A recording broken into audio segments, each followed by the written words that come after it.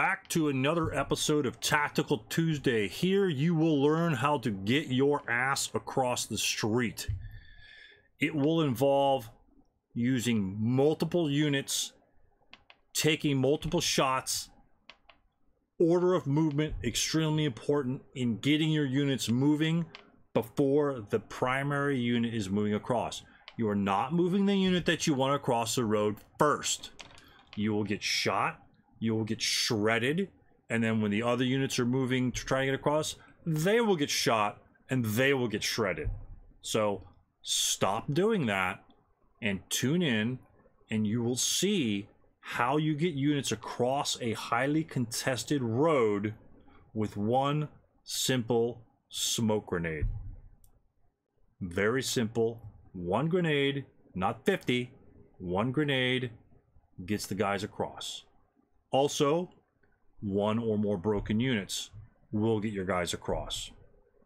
Take the lesson as a whole. Do not break it down to one individual piece and say, that is unacceptable.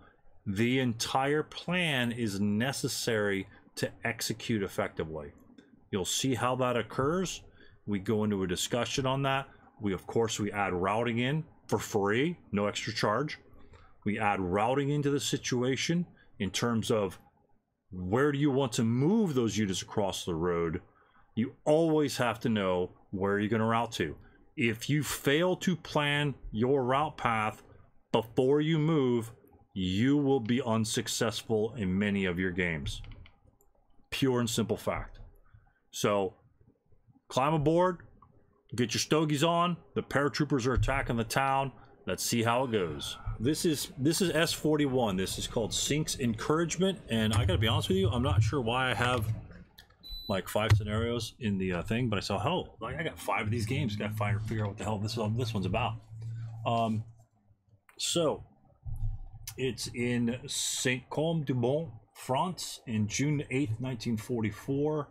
Uh, victory conditions, as you pretty much can dictate. Uh, Americans win at game end by controlling all building hexes within two hexes of P6, which is the smack right smack dab in the middle. And so uh, all the ones that marked V, I mean, you can just you can just either eliminate the white, the yellow thing, or not. But we'll just leave it there for now. So it's a good indicator.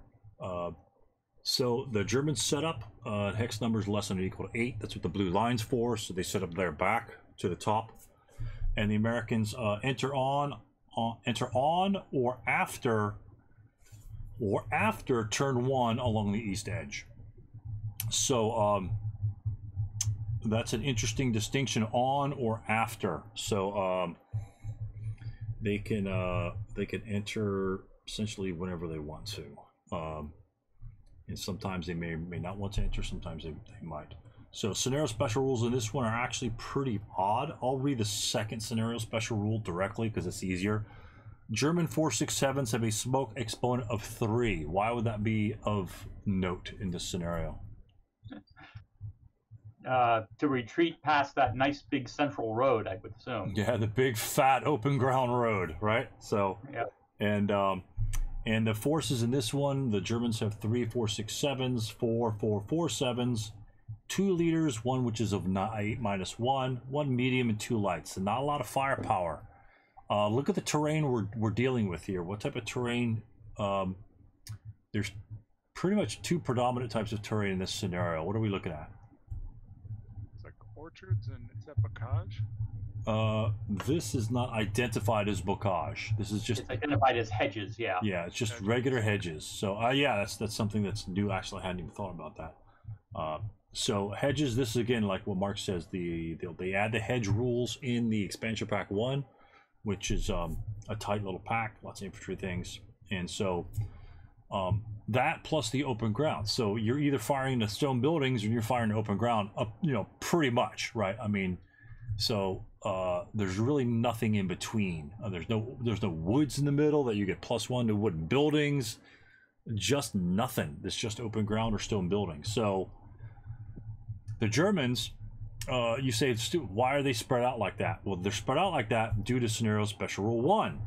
As his first action in turn one, prep fire phase, the American player calls in three artillery strikes, which are the three little um, uh, acquisition markers down on the bottom.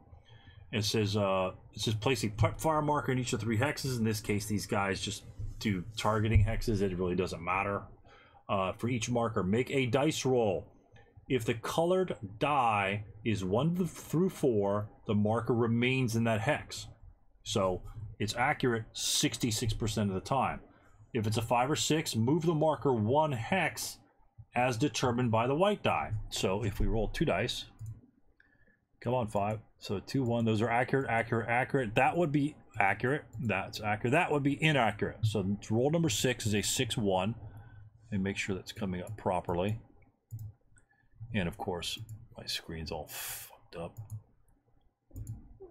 This chroma key's a pain, pain in the ass. Let's try that. So the last one will be an, an inaccurate artillery strike. And so, and it simply goes direction one. And when you're dealing with direction one, you start with the notation of the hex. So, like, say if uh, Q5 were the location, Q5 where the hex the where the hex designation is is direction one, and then you go clockwise two, three, four, five, six. Six is to the left, two is to the right, and everything else by. So it would go up by one hex and then blow everything up. So that's how you do the direction extent. So in case you guys were worried about that, and um, it says all units in the hex containing the marker and each of the six surrounding hexes immediately undergo a mortar attack. Oh my god. On the 16 firepower column of the IFT, applying terrain effect modifier normally, with separate dice rolls for each attacked hex. Following the attack, you remove the marker. So essentially, you get a lot of free 16 firepower attacks. Uh, that's why the Germans are all spread out, and that's why most likely they're all going to be in stone buildings. But they will be taking 16 firepower attacks in at least three, well, most likely three locations. You know, because it's only going to drift one hex. So if you're going to place it on three units, it will attack those units regardless because it's only going to drift one hex away. In, in this case, because they're set up like that, it can't possibly affect anybody else. So, uh, right in the beginning, uh, this this scenario is very very different. So 16 chart, a seven will yield a morale check on everybody in stone buildings. So essentially, you get a free morale check on everybody for all intents and purposes. If you roll seven, if you roll better than that, you get a better better check. So, um, taking that into account, and that the Americans have to clear out, well, actually not clear out, but control all build hex, all building hexes within two hexes of P6 of the crossroads. So they got to control all the V's. So look at your OB for the Americans. What do you what do you see that that is slightly different for the Americans? Oh, I'm sorry, you don't. Well, you can see it on the bottom here. They're all seven seven seven four sevens, one half squad, uh, a nine minus two leader, nine minus one, eight minus one. So they all have leadership modifiers. Which one is most likely going to be the building reducing attacker? Probably the 9 minus 2, right?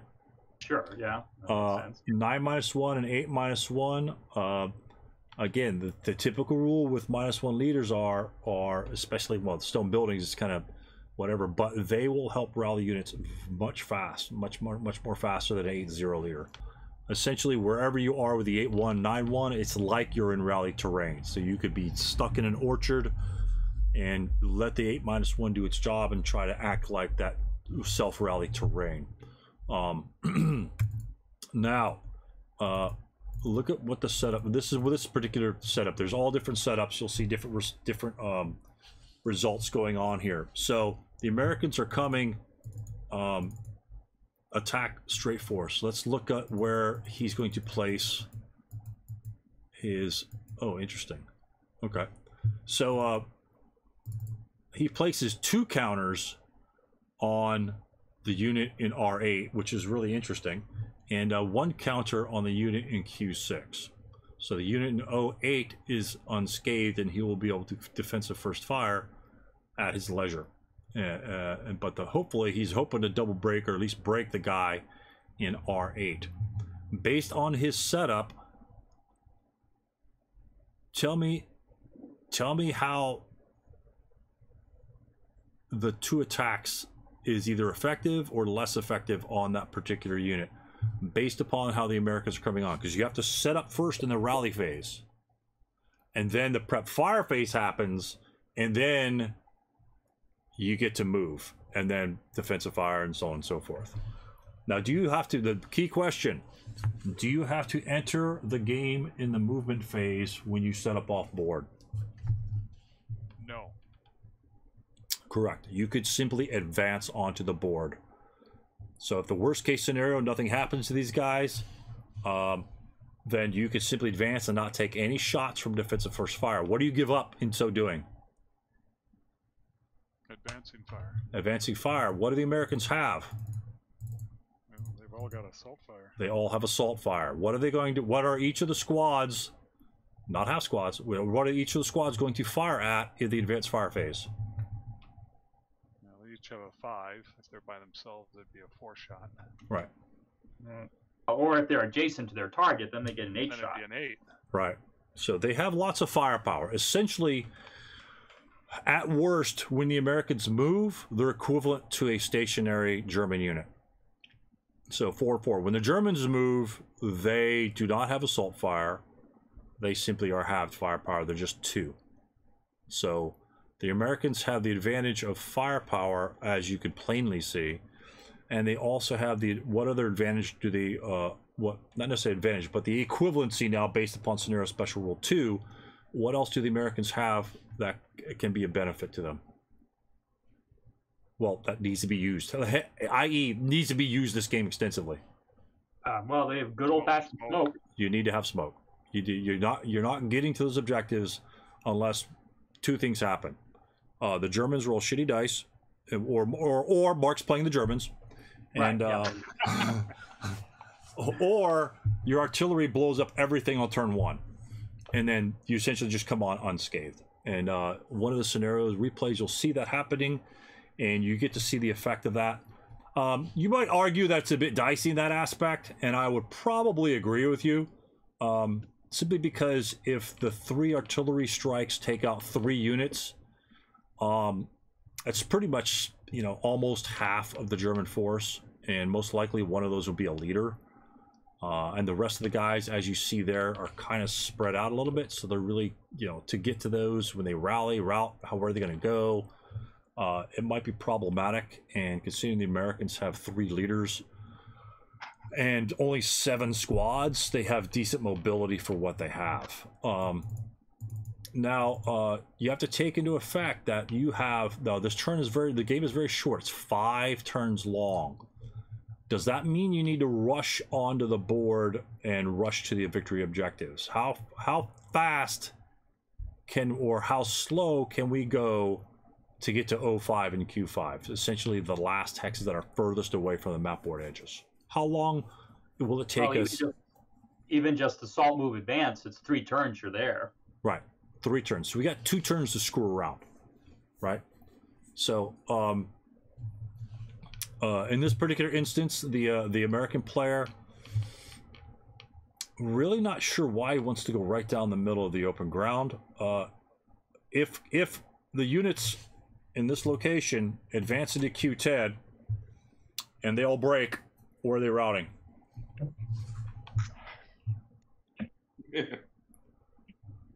Um, well, I mean, in Like, theory, yeah, I mean, in theory, they can. Like can. T10 is there. It's where they.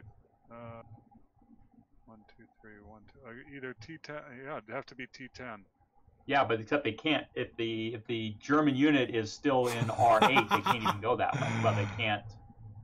No, they They could, they could. So let's check this Oh, out. they're in So Q10. That's right. I'm sorry. They're in Q10, right? So they, they would they would still always So- be two T10 would have to be their target hex. Okay, so let's go to Q10. Let's say that we route to, to R10. We don't low we don't low crawl because we're men, right? Oh, and we then I route the- think you're going to have line of sight then to those guys, won't you? We might see T5. I don't know. Yeah, I'll bet you do. Yeah. So that's a range of six. So when we go to S10, that is a range of five. And so, let's say for shits and giggles, because all these guys break, they go here. Are you going to route this way? The same thing applies. Now you get to see this unit. So you're only going one hex.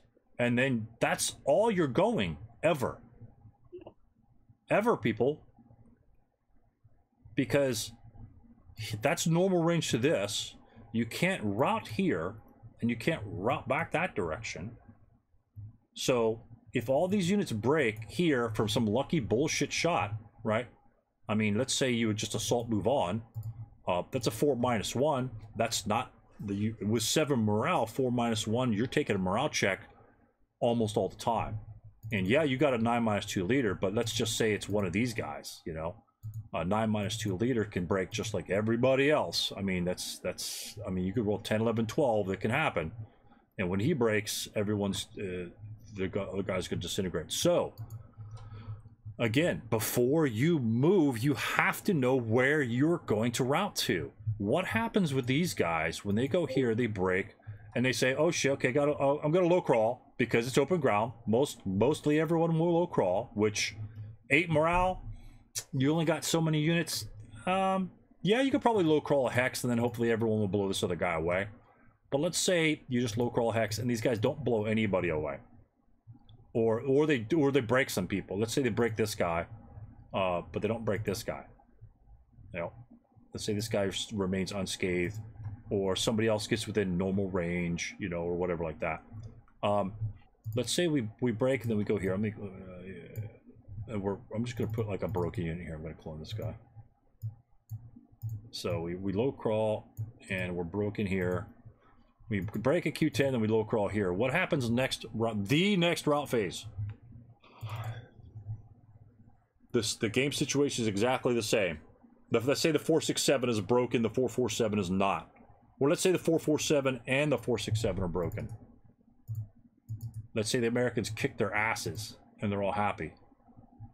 You know, there's oh, smoke. Oh, I mean, one, two, three, four, five, six. It still doesn't matter to this unit. He still has he still has to route because he's in normal range and in open ground from this guy. And from this guy. Okay, yeah. And then and he can't route, so he will be eliminated for failure to route. Straight up. Breaking here and not destroying these units. At least the one. I mean First of all, if you break there, you're looking at long range, and so do you get assault fire at long range? No. Nope. So you get jack shit, especially this unit here. This stack here, if he enters O10 and he tries to break this unit to save his buddies later, how much firepower will he have? This is uh, this is important. I'm taking time on this because this is this is how you lose games on turn one. Before the game starts, this is how you lose games. I'm not saying that he lost the game, but what I'm saying is you need to look at this because how much firepower if he goes to O10 and this guy, well, this guy has to break from these guys and not from so you can't fire on everybody. So somebody's going to have a line of sight to that hex, forcing that unit to route. He will be eliminated. And if let's say one guy routed here, one guy routed here, what's his, what's his problem? You know, these guys are broken. He's still there. He can't route, but he's these these guys are broken units, so he can stay alive if both of these guys are broken if either one of these guys in a stone building remains unbroken, these units are eliminated as well. So you've got your 9 minus 2, 3 squads, a machine gun, going into Q10, taking two 4 minus 1 shots, because that's who I'm firing at. I mean, that's a stack of dudes. That's just a stack of dudes. You're, you're attacking that stack. If he comes in as a stack, right? If they break here, they're going to be out. Let's say they don't even get eliminated for failure route. You will be DM'd for at least two to three turns, if not longer. Are, are you going to be taking anything in two to three turns? And how long is this scenario? It's five turns. Yeah. You know, you, you got to you got to rally get, get your ass up there at that point as fast as you can. And plus, when your stack is out, when your big boy is out, you know what what are you going to be taking buildings with? Nothing. These eight these eight ones and nine ones aren't going to be doing anything. I mean, they're going to be rallying a couple units. You might get a couple lucky shots. You know, it's still plus two. That's a great defense. You know, and the Germans have numbers, so it, you have to control all those buildings. So, um, entering Q10 might look great for every this way to get to this location might be great, but where's the obvious approach from this in this scenario? Where would you I guys approach from? I would I would think over that way. I mean, you've got the block line of sight because of the hedge, so then all you got to do is worry about this guy. Yeah. Yeah, I mean, hell, you could move to U10, T9, right? You're getting plus two from this guy because the hindrance is. And let's say you're you're you're you're you're brave and ex- and you know you're a badass, and you move to S9. Can this unit even fire on you? No, block No. line of sight. Yeah, hedges block same level line of sight when they're not adjacent to your hex. So the S8, T7, S7, this, th- these two hex sides right here will block line of sight from that unit to that unit for those that are unfamiliar with hedges. So hedges are like half level. You know, at this point, for all intents and purposes, on this map, hedges block all LOS unless you're adjacent to them. I won't go into the other rules about how you advantage over them, so we're not going to bother with that because there there is no height advantage in this game.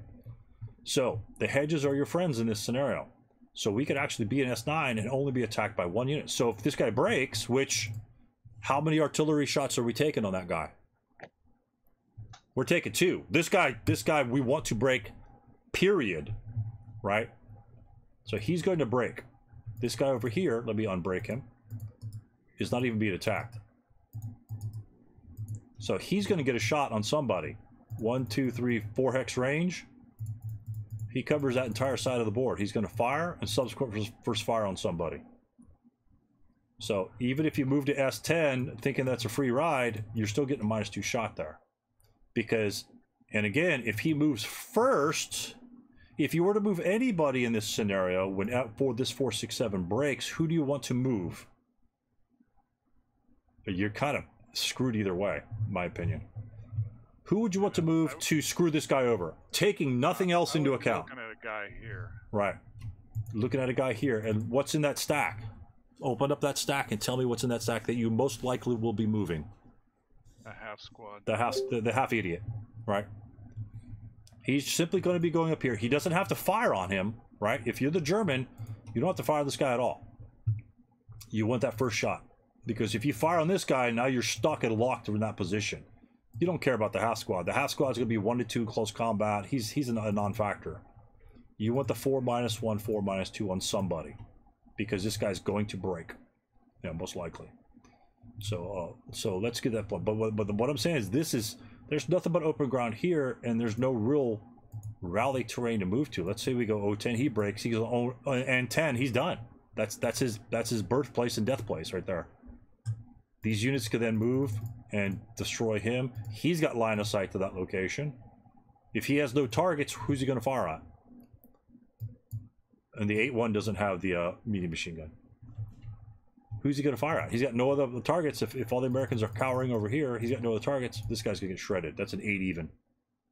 He's just going to get shredded. Good spot with for the 467, mind you. One, two, three, four, five, six hexes. He's got two of them. Uh, this one, this a 467 over here might be a little bit more efficient, simply because he could reach the edge of the board. Uh, back here, there's not really any. There's that it's all within four hexes. All targets are up there within four hexes. But be that as it may, it's where he wants to put it. I have no problem with that.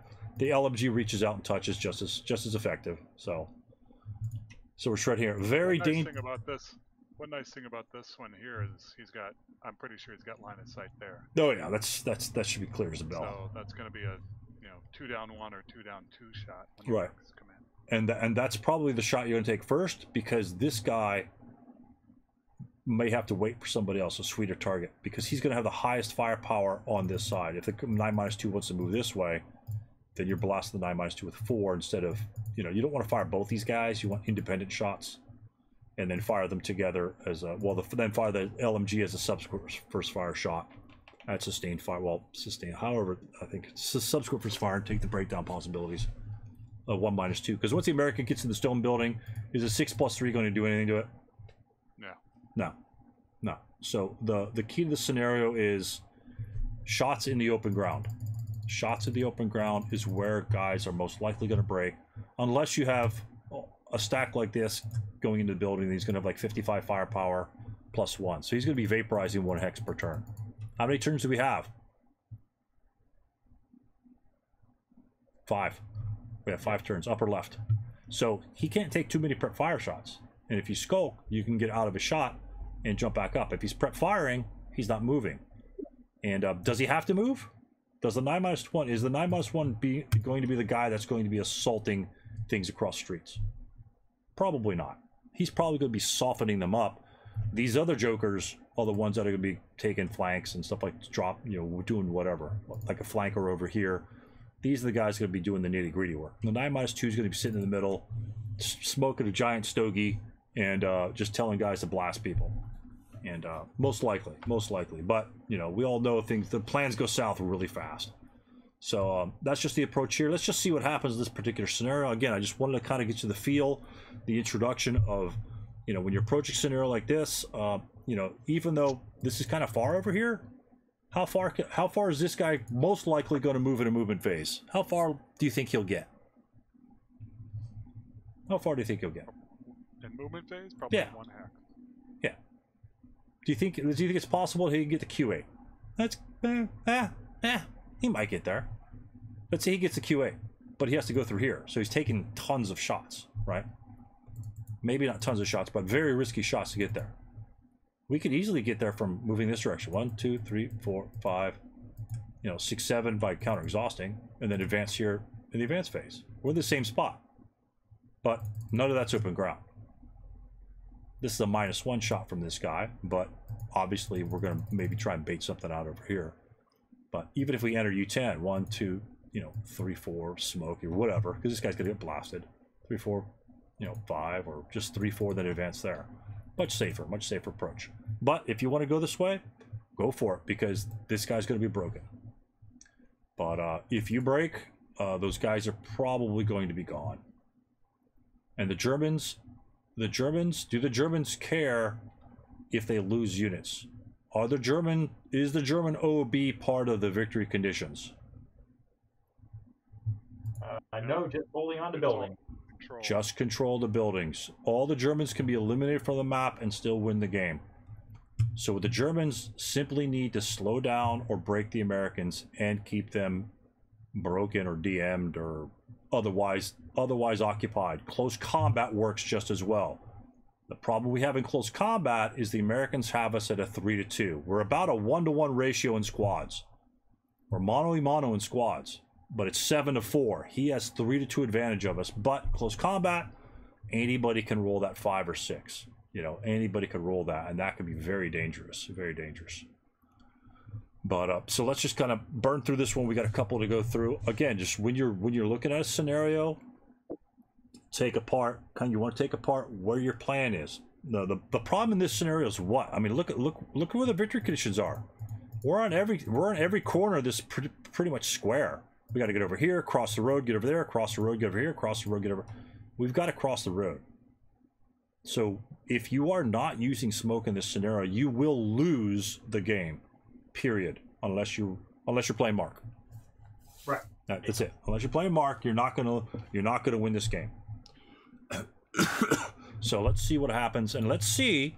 You know, although there might be times you might want to try and bait a shot by just running across the street, and then you know the guys will be first fired. There's all these strategies, and that's why ASL is is, uh, is fun. Is maybe I maybe I want him to shoot. Maybe I want him to shoot and break me. Why do I want him to shoot and break me? Why would I want that to happen? You know, Well, we're you've almost always got the you lead. could route six six movement factors forward. Yeah, it's possible. Or like if we're, if we're right here, if we're already occupying these buildings, let's just say we don't even have a, assault mover. Let's just say we move, like we're going to burn to this hex right here. Let's pressure him. Say, okay, I'm going here or I'm going here, right? Because I'm going to make it into S6, and he has no LOS to any enemy who's behind him. He moves to S6 because he wants somebody to first fire on him because he wants to run across the road. Doesn't even drop smoke. Screw smoke. I ain't got time for smoke. He may burn a shot. If he breaks, where's he going to route? He's going to route right back to the location he came from. Who's likely to be in that location? Probably a leader. Nine minus two leader. Yeah, nine minus two, eight minus one, nine. Somebody's going to be uh, somebody's going to be one of these hexes that's going to rally him. Maybe even this one. So, are, are the Germans going to be shooting at the broken unit, or going to be dealing with the American firepower that's like twenty firepower staring at them? Ah, it's probably going to be firing at the twenty firepower. So you're coming up. Next rally phase, you'll be DM'd. Do we care? That's a six to rally. With under a, a minus one leader, six to rally. Phase after that, 10 to rally. So six or 10. So you're coming up at the beginning of the Americans player turn when you don't have DM almost 100% of the time. You know, one out of every 12 times you are not coming, you are not rallying. So, uh, so throw into the extra six dice roll that you have before that. You've got like a 94% chance or 95% chance of rallying within those two phases. So you're coming back, and uh, that's a problem for the for for the Germans. So um, so let's move forward. He's gonna he's gonna blast some things. Boom, boom, boom. We got a pin. We do have the break here, and we got a pin and a break in the middle. We're moving our squad on the right hand flank. I'm gonna burn these pretty quick. You see the residual firepower. He does break. And uh, if you guys want to follow some of the action, you could double click on the stacks, and so you can expand the stacks so you can kind of see what's under some of the stacks. Again, here's our 337. Does exactly what he's supposed to do. This guy takes a shot first. Hopefully, it's the squad. Uh, maybe the whole thing fired on him, but uh, oh, it's one residual, so it's probably the light machine gun. Nine minus two is here, thinking that it's free and clear. Do you want to move him first? Yeah, I wouldn't have done that. Do you want to move him first? This guy's the guy that's going to be rallying. Even if you move everybody else in that location and they break, at least they get to route back one hex and you get a chance to rally when the 9 minus 2 comes on here. Breaking him first. This is very similar to the 8 minus 1 assault across the road in um, uh, Release from the East. This is the the piece in the game that is going to win you the game. If if ever everything else is even, this is the one piece that the Germans do not have. You they've got a medium, you got a medium, you got squads, they got squads. He doesn't have Mr. Badass here in the middle.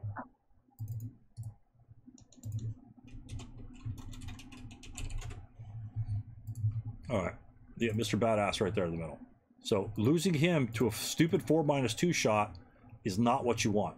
You want squads flooding these guys. He hasn't fired yet. If anything, what can you do? what can you do with somebody from here that hasn't fired yet? Or one of these guys? If if you wanted to move Mr. Badass into Q8, what's one way to get in there? Because your objective is Badass needs to be in Q8 at the end of this turn, or R7. I mean, I don't know. It depends on how badly you want to do it. I suppose you could. No, he needs to be there. He, Well, yeah, but I mean, yeah, I mean, well, you know, one of the one of the, um, I mean, you know, I mean, I mean, one of the seven four sevens could move into. I mean, could in theory move to Q ten, try to smoke his own, uh, try to smoke the next hex up. Um, still wouldn't, Yeah, yeah, absolutely. wouldn't. You could, what I was you thinking. could also potentially go around, you know, this way, Right. and then Yeah, you- yeah. yeah, you're still taking a four minus two shot over here. But yeah, you can move a squad there. You can just simply move a squad there. One, drop smoke for three, and then you could do four and move the extra, move an extra location. Either four here, four here, four there, or just stop. Or you can assault move into Q10, drop smoke because you don't want to take you you want to try and get that smoke off. But if he fires on you here, if he fires on you here, whether you assault move or not, does that accomplish protection from for Mr. Badass? If I'll this give them some. You, you, you well, right now, yeah, at this moment, yes, Yeah. because now it, he can't it fire. eliminates that four minus two shot, and even the two minus two from that uh, second line squad. right. So So this you still have to worry about a two minus two from the other second line squad.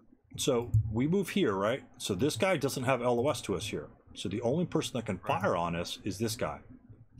So he fires on us and we break. And we don't get smoke. We just assault moved on there. He says, I'm firing. Boom. Now where's Mr. Badass going? Let's say he's first fired the whole way. To R9? Yeah, you can you, you you can go around this way. Can you go right down the middle of Q8? Is that a safe route? If he's already first fired, then you're good. I, I thought all he fired was the uh, machine gun. Yeah, let's just say first fire, because I at that from what's depicted on here, um, it, it looks like obviously he probably he may not have fired. Let's see if there's that's even LOS. Yeah, it's clear LOS. So he's going to have clear LOS to that location. But it's going to be two minus two. But we don't want to take a four minus two. Are we? Are we? Do we care about this unit anymore that he fired and broke our guy here? No. No, because he can't. He can't fire on Mister Badass. This guy can if he's not subscourse fire. If he's like that, he could fire two minus two. But that's the only shot he's going to get. So what can we do with this unit? With the other? With the other four four seven four seven? Let's say I don't want to take a two minus two either. I'm Mr. Psycho, and every time I roll a morale check with my nine morale units, I roll a 10. So I am not taking a morale check on that guy. Two and smoke. Right, one, two, drop smoke for four. We missed. Well, we tried. Guess what? What do we have over here? One, two, one. smoke. We got screwed. That's what happens. You get screwed, but that's fine. That's part of the game. What can Mr. Badass do? W- One, two, drop smoke. Because he's Mr. Badass, you gotta roll a one. Three, four, and then he just goes assault. Or he can either move into the hex or move here for five. And then advance into here later. Now he's in Q8. Or this unit can then. go. I wouldn't want to go there because then he could subsequent first fire. Uh, no, no, yeah, de- yeah, definitely don't go into P8 because he could wait until the defensive fire phase until the smoke dissipates and fire upon you. If Yeah. Mr. Badass drops the smoke here, then Mr. 9 minus 1 can simply go directly this way. And Then Mr. 9 minus 1 goes in there. And then he can. Question, Stew. Sure. Um, the nine minus two can apply its leadership modifier to a smoke throw. It may not.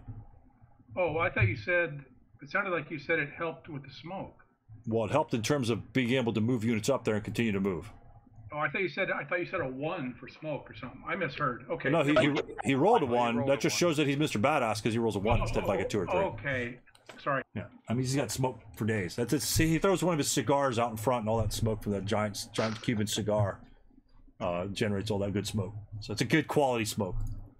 So, uh, so yeah, so we're smoking the living shit out of this area. Why can we just move guys one hex and smoke and and be done?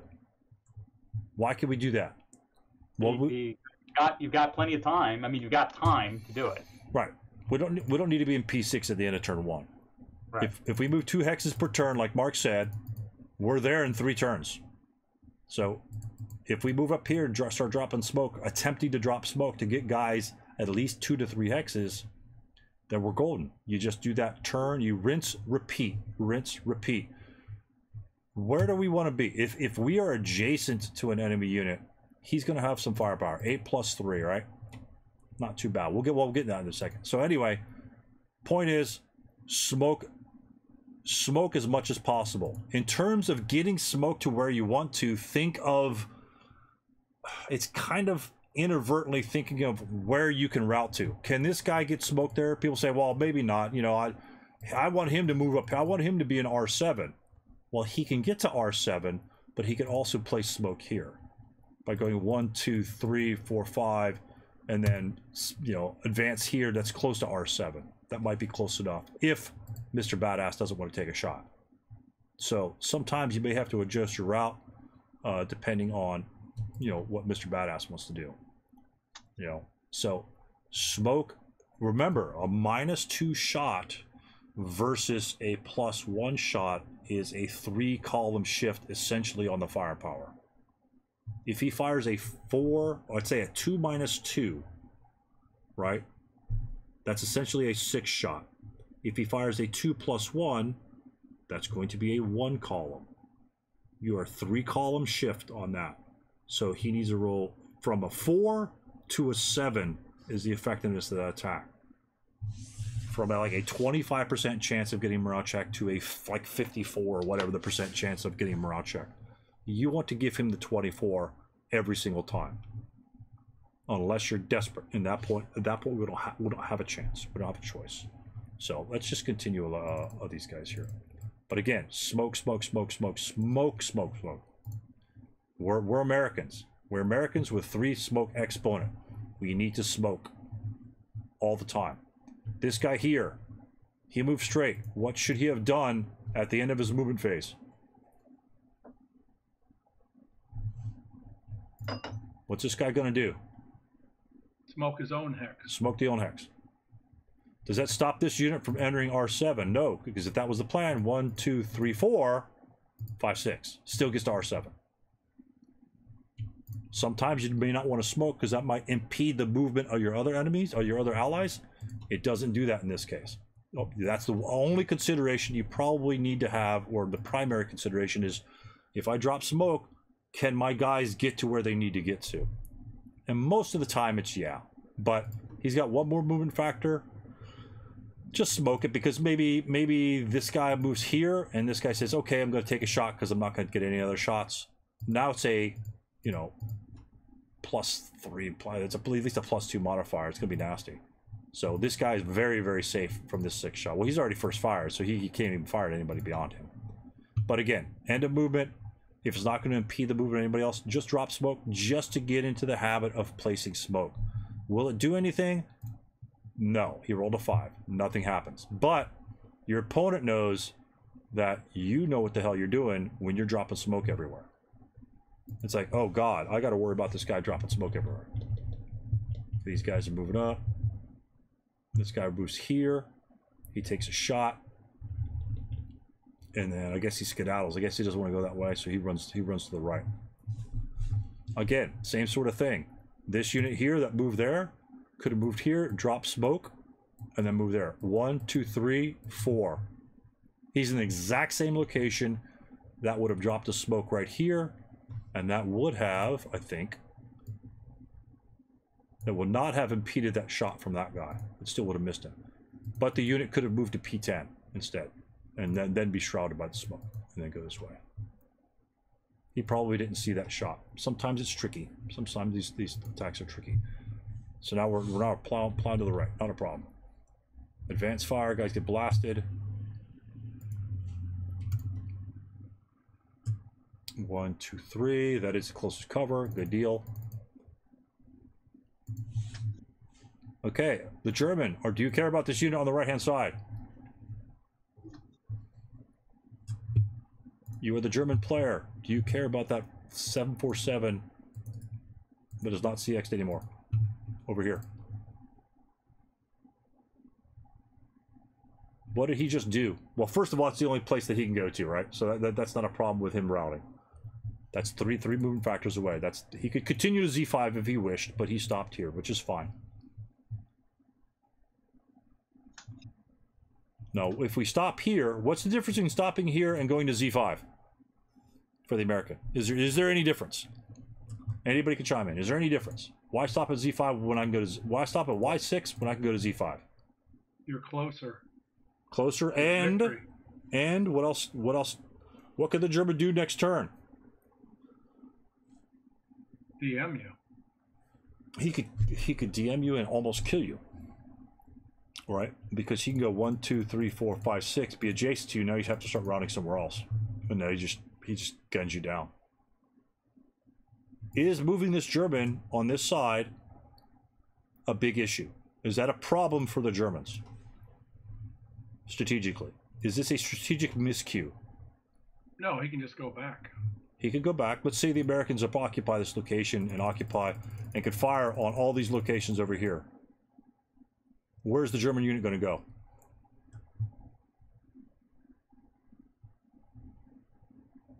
And this is what you got to think about, guys. Well, he doesn't want to break. We pursue this guy. Again, we, we're thinking about this, right? Right? Victory conditions are in the center of the board. Okay. They're in the center of the board. Is this a part of the victory conditions? We are mono y mono in men. He has seven squads, we have seven squads. That is an LMG, which can be a part of the equation. Essentially, he'll get two shots. So if we pull him out and he's broken, we don't have much defense in the middle. He's obviously coming over this direction. This guy's obviously coming down. He's obviously coming down most likely. It's not going to be a free ride. There's going to be free rides across this road. He's still good. He's still good, excuse me.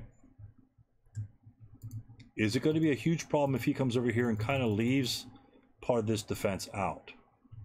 What advantages and disadvantages? First of all, what disadvantages do we have if we pursue this unit, and let's say it takes us a turn and a half, and we eventually we shoot him, or he has to he has low crawl here, and then we could prep fire on him, six firepower, he fails morale check, then he low crawls, and then uh, defensive fire next phase, we do a six firepower, and he fails a morale check and he dies. So one turn later, after we move here, on turn two, this unit is eliminated. At the end of turn two, so the beginning of America turn three, this unit is free and clear over here. Let me move him over there. And this is more strategy than I'm going to label. Okay. So he's over here. This guy's gone. Uh, oh. Yep. Not care. Oh, really? He's here, and he's and and uh, he's out from here. Americans are come up through here. I see the Americans get over here, and they're press pressuring this building pretty hard. How are we in position over here? Is this a is this a detriment? Can we take advantage of that? Is it nothing but disadvantageous? Should we never go and get rid of this unit? Well, I like it because you can move. it- We can move down behind them now. What does that do for Yeah. us? Well, for one, you could eliminate a route path for the Americans, and for two, you could regain control of these buildings after he's crossed the road and gone over here. All right, cross the road. If we fail our smoke rolls, just like we did down here, either the American doesn't move, or he has assault moves with a minus one in the open. We've got a couple four minus ones that we're probably going to take. Hopefully, we won't be broken. We do have a medium machine gun that is just pinned, so he's up and going. Just the leader broke. Uh, he's not going to be there forever. But yeah, the route pass. If we break a unit right here, and we made it over here or over here in our next move at one, two, three, and then because we're CX, and then just say we advance here, and he breaks a unit right here. Where's he? Where's the a broken American unit going to route right there? If this guy is in this location. 447 is in 06. Okay, 06 is where he's at. Where's that clone? Let me clone this guy again. American unit breaks in S7.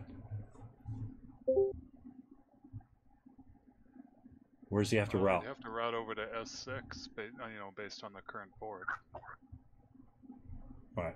Well, he could route straight down, right? But he just can't route into our buildings in the beginning. Not, not if, uh, Just Gibson. There you go. Not leave, just just mute. Just feed, just Oh. feedback. Hopefully he'll come back. Oh, there he go. There you go. Cool. Excellent. Oh, no. All right. He'll figure it out. sure, no, it's gone. Yeah, yeah. So he's quick. He's quick. So um, so yeah, if, if a unit breaks in S seven, where's he going to route? Yeah, he could go back one. He can go straight down because if we're in W nine, that's one, two, three, four. That's still four here. He could route straight down this row here. But the point is, is he could route. Technically, he could. He'd have to route to R eight, but that's within striking distance of our unit next turn. One, two, three, four, or three, and then advance here. We could try to keep this unit DM'd. Are these units? If these units turn around and deal with this guy, how many units does he have? do the American have to turn around? Look at all this orchard. If I'm in V9, that's like a wooden building. If these guys are over here, right? If I'm over here, that's a stone building. Two hindrances. One hindrance from this guy. It's a stone building. It's the same thing as being across the street.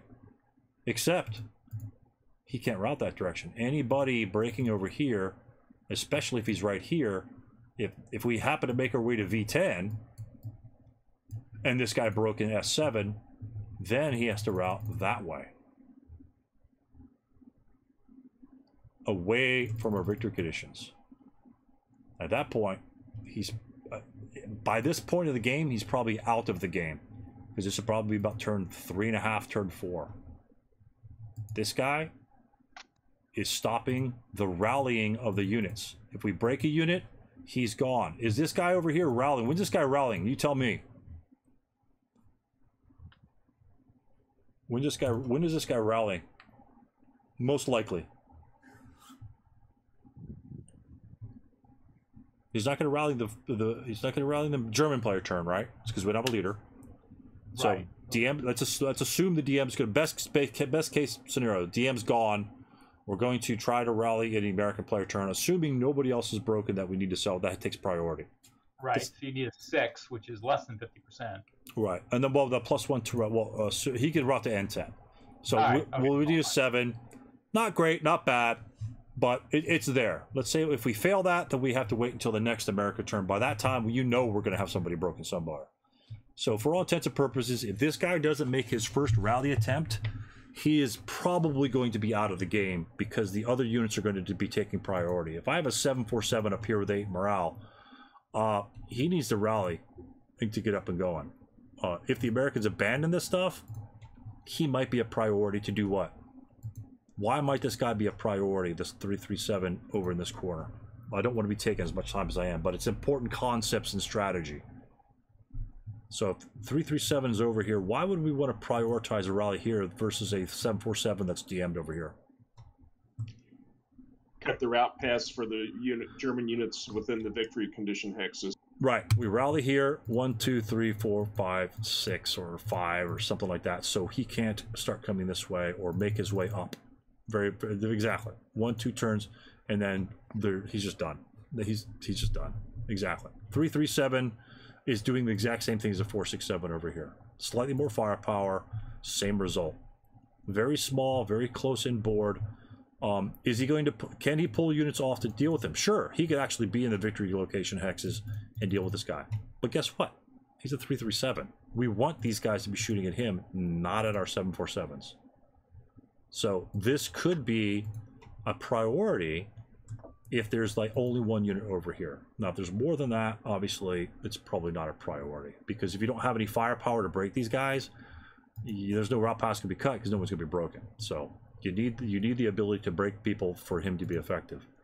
Um, because the Americans have to cross the road, the Germans have the ability to break the Americans. Therefore, this unit coming around backside is probably slightly more powerful than this unit coming this way if the Americans, because the Americans have to be moving, the Germans don't. Slightly more powerful, but the effect is the same. Both both people can do the exactly same thing, and I think in Craig's game, I think the I'll probably do that one next maybe. Um, that situation kind of comes up, so that's what we're looking at there. So we're just going to progress to this game. Again, you might think a guy broken over here, uh, he, he- who cares? It, it has no impact on the game. If we ignore him, what's going to happen? We move over here to S6. When's he rallying? Probably on the American rally phase. Right. What do we need? Just an eight. Eight. Eight's pretty damn good. Where's he going then? When this unit moves here, and this unit comes in here, this unit stays here, and everyone else kind of collapses. Assuming they collapse, that's the standard thing. What's this guy going to do? Head to the rear. Yeah. He goes Come backwards. over this way. He goes backwards. Absolutely. Does he need to engage anybody in firefights? No. No. He's not going to have the cover. He's going to be in hedge terrain plus one. You probably don't want to take a morale check. You definitely want to use smoke as much as possible. Smoke and then assault move or something like that. You know, just to move one hex at a time, so he's not getting you for you know whatever. Uh, you don't want him to break because then he has to route to that location. Actually, he doesn't have to if he's right there, but uh, you want him to stay alive as much as possible. You know, then you could do a couple fires. There's a couple spots you could fire on there. Not a lot, but again, your six plus three is really not going to be doing anything. You'd have to be adjacent to actually have an impact. Um, can he get adjacent? Yes, absolutely, he can get adjacent. But uh, the idea is the same. If he gets up, up and around over here, nobody's routing that direction. They'll have to go across the street. So in terms of routing, it looks like. Um, uh, take a look at the village. Everyone, clear their map and tell me where, if you were the Germans, um, where you want to route. If you want to, if you're going to break in any of those hexes, which where on the positioning on that board would you want to be routing to? Okay, left hand side. What about up through here? Or down here? Too much open ground. Right. Visually to me, visually to me, of course, it all depends on where the Americans come on. Visually to me, defending this area here heavy can be detrimental to your health. A medium machine gun sitting right here covers that entire road for interdiction purposes. And a 747 here covers that road. Or 337 for that matter. Just sitting there, you know, drinking a couple of brewskis, you know. So you're not really routing without interdiction. Do you want to low crawl in open ground when Americans are around? No. You really don't because they're just going to fire you a six firepower even and you're just going to die. That's that's a morale check on average every single time. So you might as well take the morale check, the one morale check, to get the hell across the road. You're taking the morale check either now or later. It doesn't matter. You might as well take the interdiction to get the hell across the road, and you might be able to continue back here. So there's much more, a higher density of buildings that you can move the hell away from the Americans to protect yourself. Up here, What's what's the issue of going up here? There's a good density of building up here. What's the issue up here? Too far away from the victory conditions. And what do we have to do to get to them, John? You have to cross more open ground. You got to cross the open ground just like the Americans do. We don't have to do that on this side. So just visually looking at the board, strategizing for your setup and where you might want the end game to be, you might want the end game to appear up over here. In some of these games, it exactly happens that way. The end game is over here because this is a better area to look at. This initially looks like a powerhouse of an area, but um, once you get across that road, you uh, you know obviously scenario special rule two, Germans have smoke exponent of three. You can possibly get across the road, but you're going to be taking shots. So that's probably another reason why the scenario special rule two exists and which probably everyone forgets. Uh, I don't think I saw smoke from the Germans at all in this scenario. Um, that's an easy one to forget because if you've played the Germans, you never have that much smoke. Uh, that's all there's to it.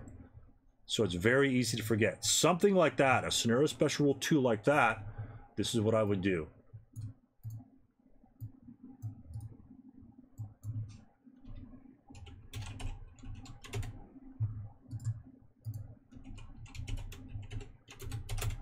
Right there. And I would put it right here and leave it there the rest of the game. That way you're looking at it constantly. Okay? And you're not forgetting about it.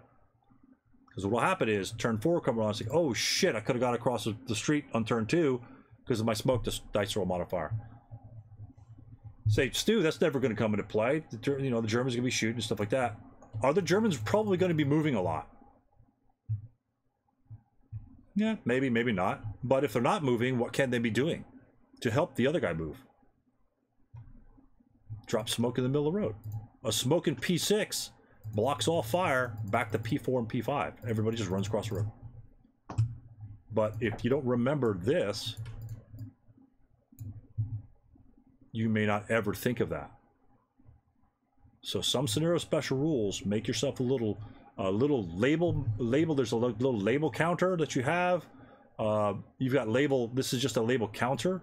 They've got label um, like boxes. You could like like that's how that's how the paragraphs on the right hand side are there.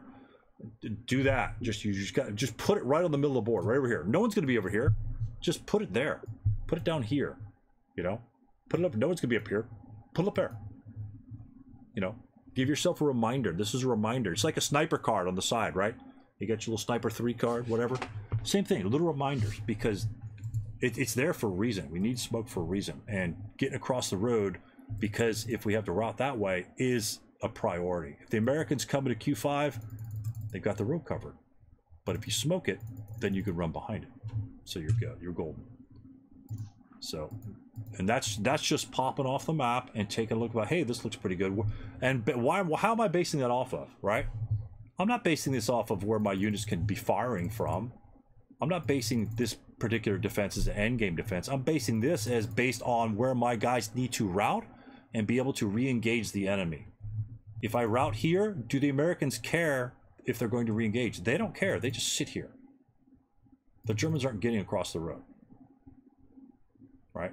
Blast these guys with your 9 minus 2. This guy's just, you know, maybe somebody just charges them, kills them, whatever.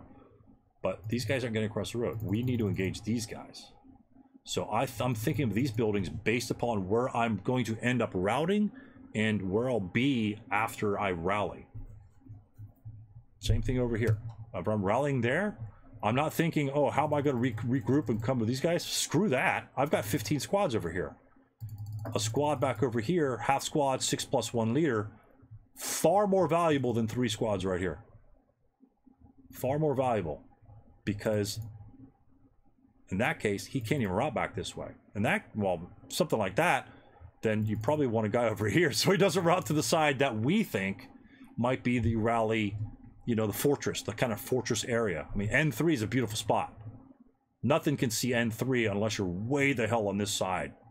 That's way off the beaten path. And that's going to have a hindrance to it as well. N3 is a highly protected hex. Anybody routing there is going to rally without DM very, very soon. Hopefully with the leader. So anyway, again, sorry about beating that, but it's just little little things you got to look about because this is such a small scenario, such a small number of units. You need to maximize the effectiveness of each and every squad.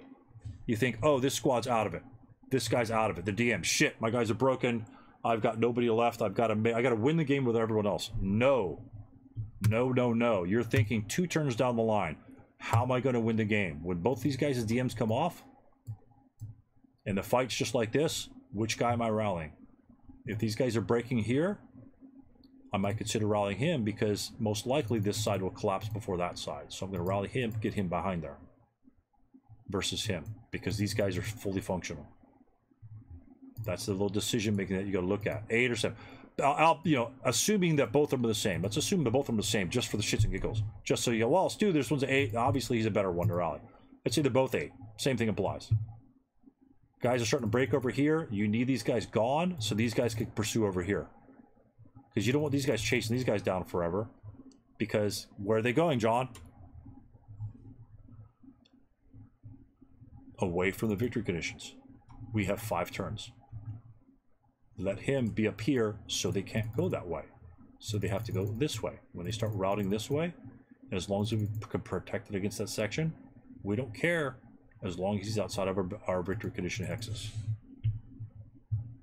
So we got a bunch of Americans there. One guy does break.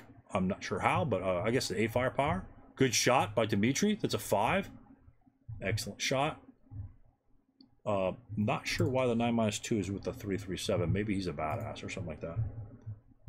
Uh, he routes there. Turbines pop up. Uh, giant stack. Giant stack here. Look at the Germans right here. Prep fire. Who's he firing at? That is a lot of firepower. How much firepower is, that attack? How, how much firepower is an R8? Well, 20, 25. yeah, 24, yeah, 24 shot. Yeah. Right, 24 shot. If this guy breaks, does the German give a shit? If you're the German, are you afraid of this shot? Because we rallied over here. He chose the guy over there on the right hand side. If we break, are do we give a shit? Because he has yet to move. Do we care?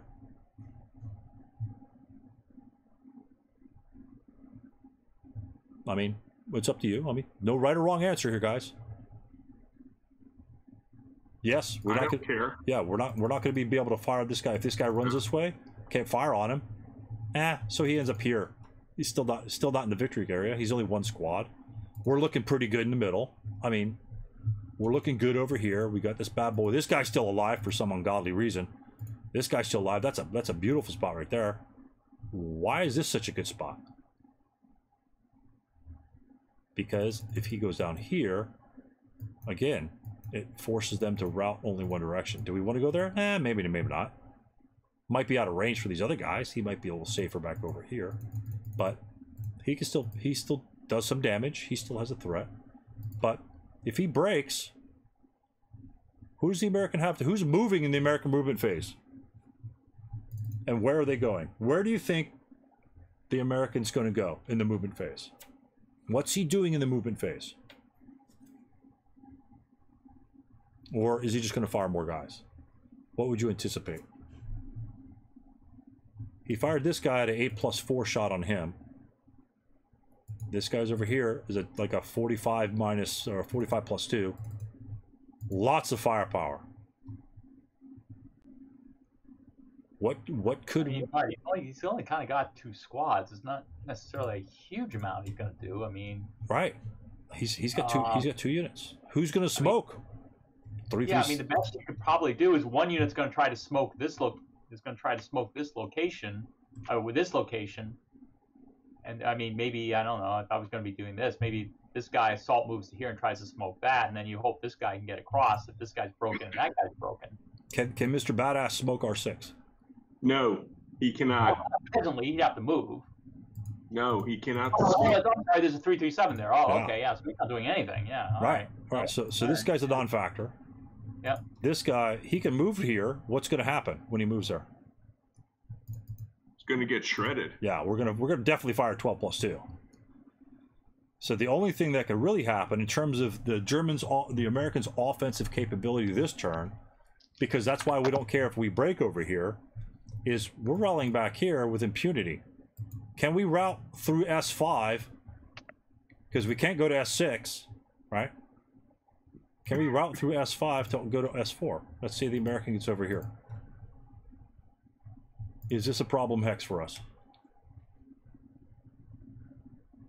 Remember, we got to think of breaking. I'm bre- I It is break. not- It is, it is not a problem, hex.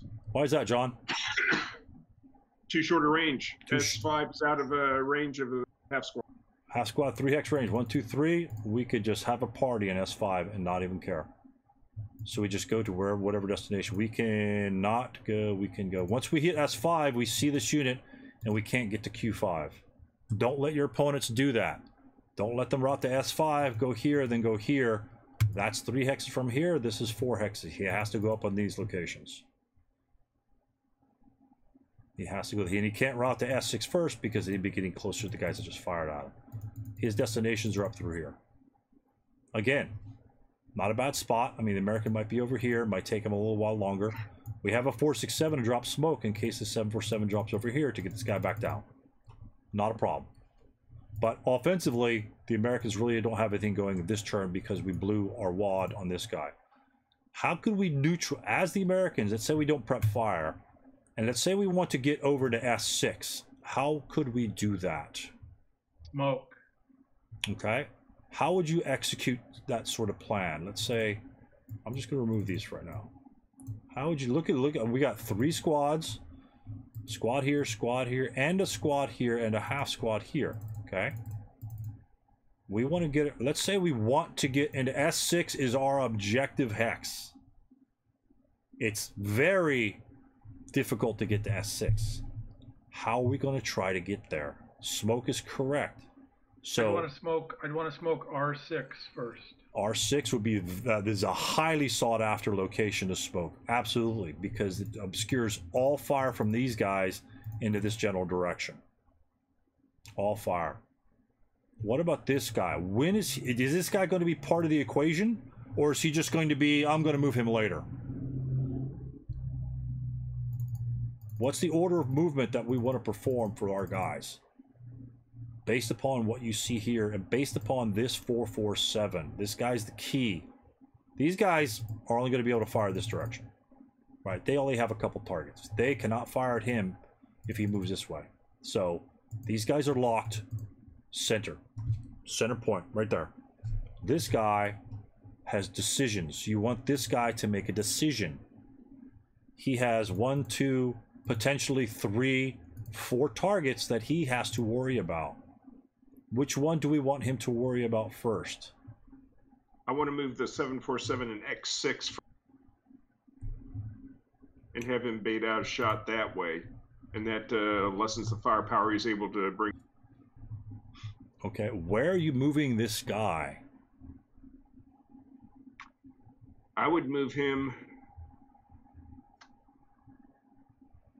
Eh.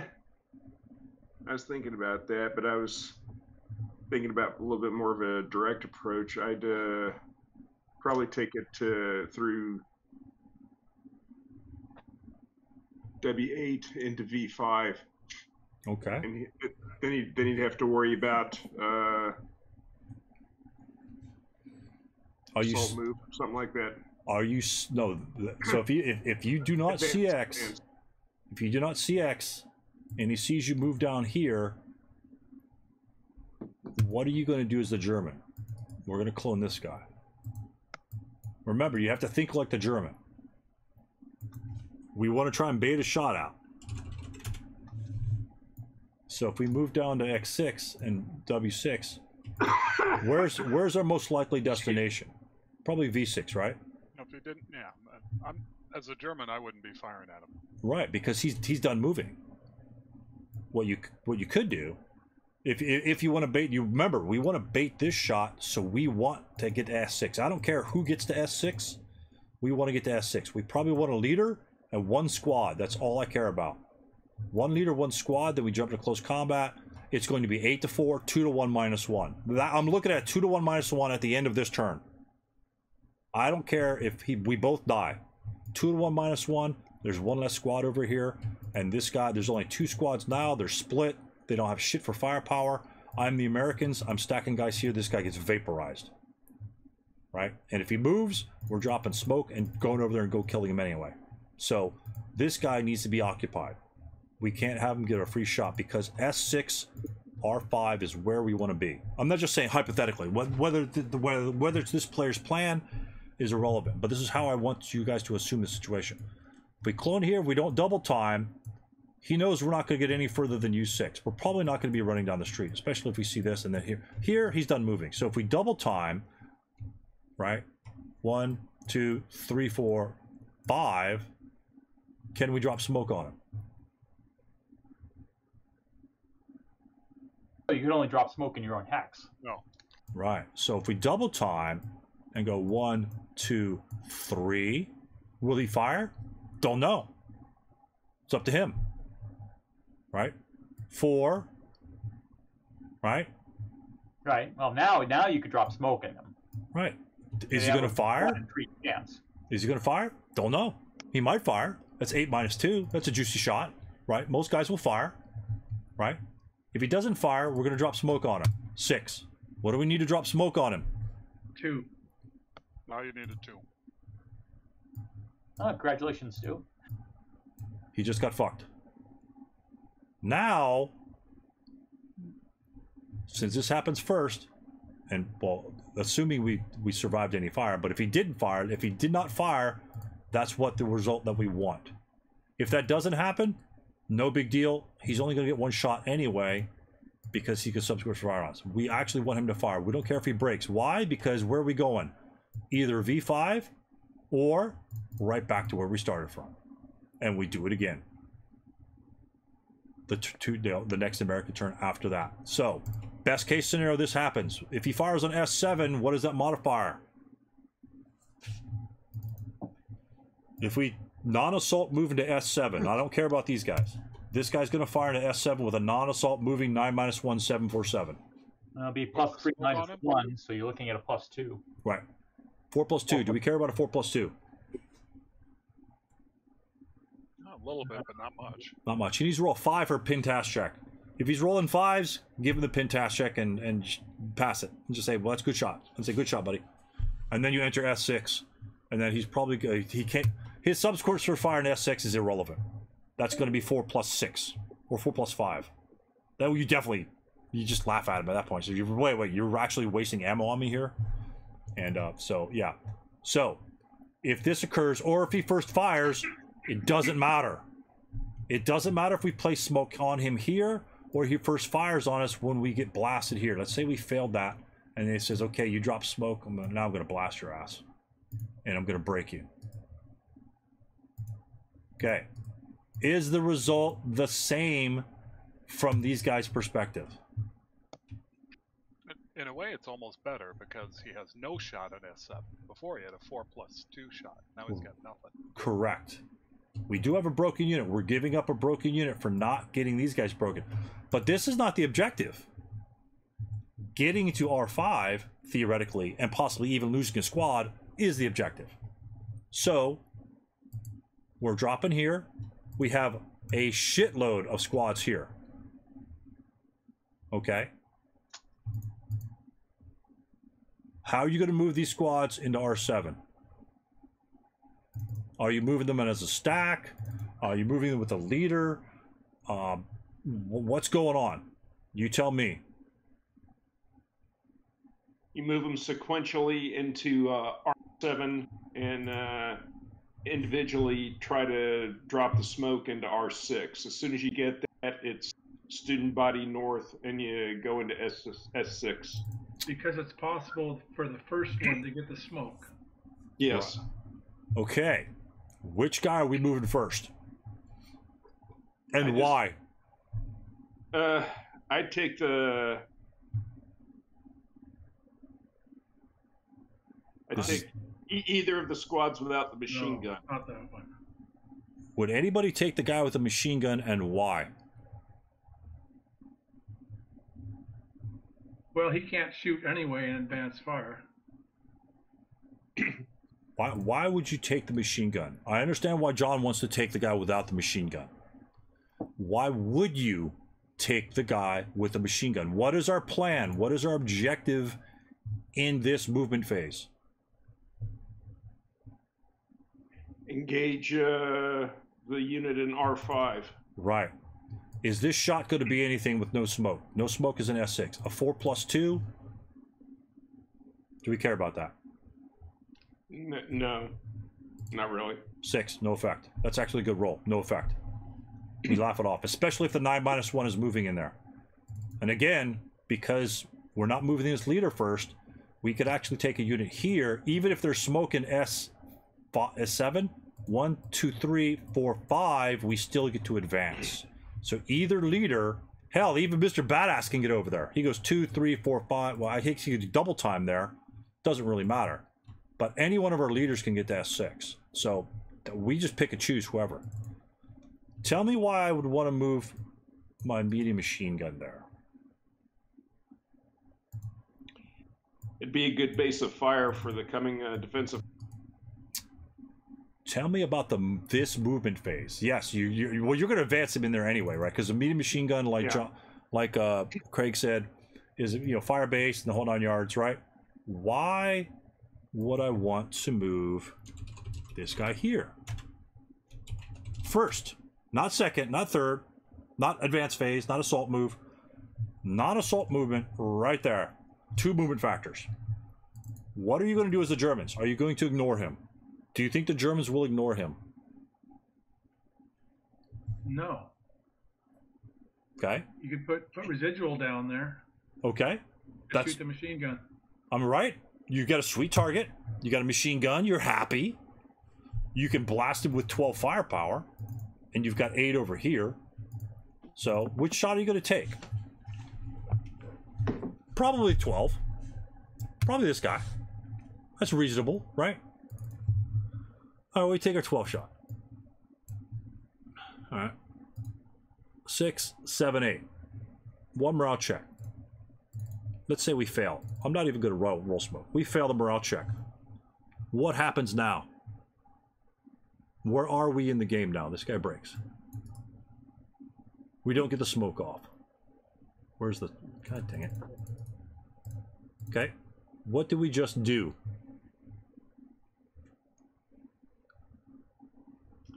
We uh, push the second squad into the.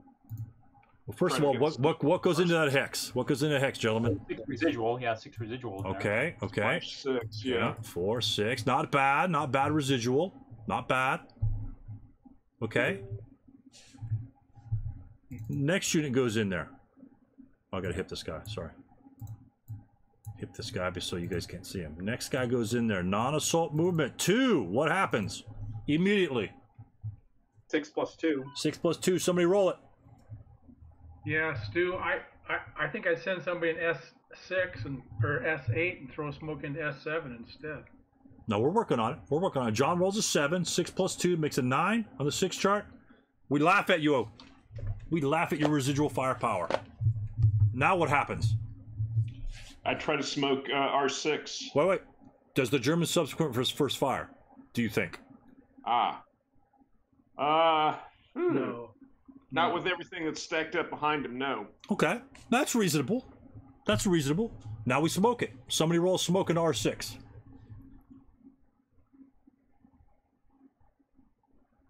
First one rolls smoke. There you go. Three. John, you're the man.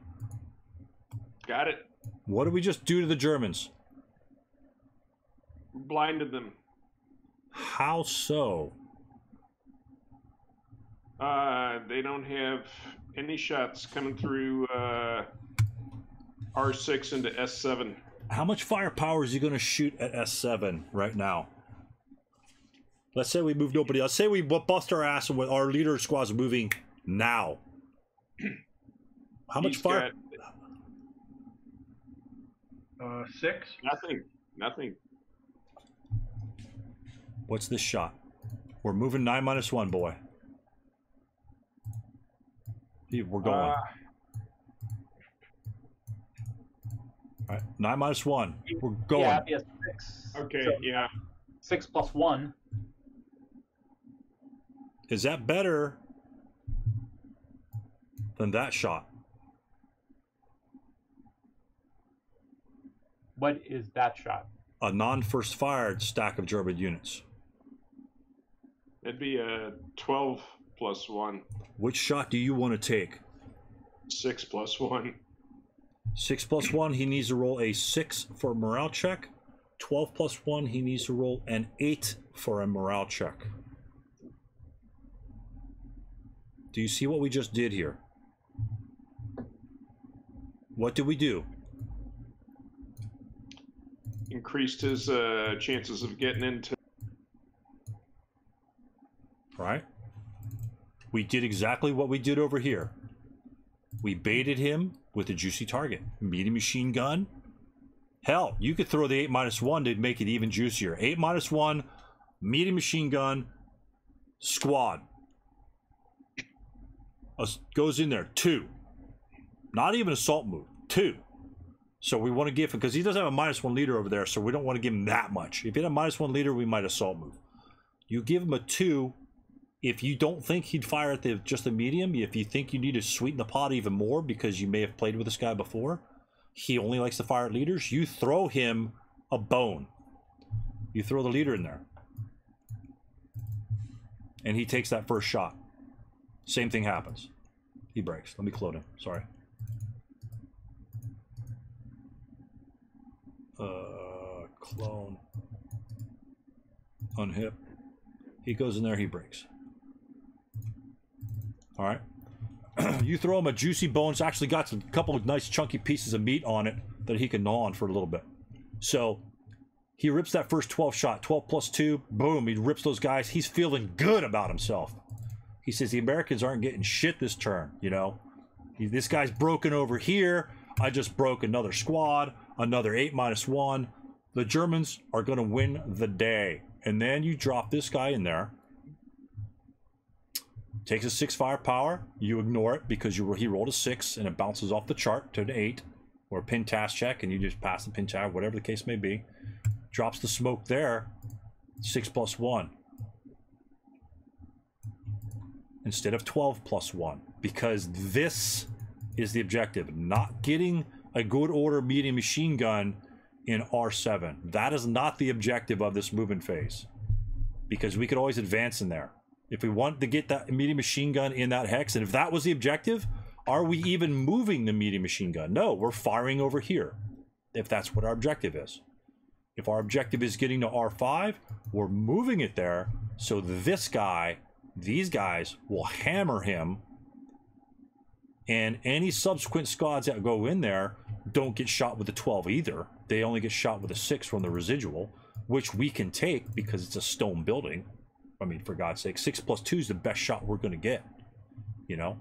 Drop smoke. We can ignore most of those shots. Drop a smoke. We got one, we got four squads that could potentially try and drop smoke there. Four squads, but we just want one squad over. So he moves here. What happens? What, the, what does the German now do? Six plus one may or may not take the shot. Don't know. Let's just say he doesn't. This guy can't take the shot. Right? We're on agreement with that. He cannot take the shot. We go into S6. What happens? Stew, you just screwed up. You're between guys. Can we, first of all, can we route from here? Number one, can we route from that location or I'm just throwing guys away? That's the number one thing. Before we even move there, if I break right there, is my 9 minus 1 dead in the 747? Is he dead? You can go to S7. Right. We can come right back. Why? Why can we do that? If he breaks, where's he routing?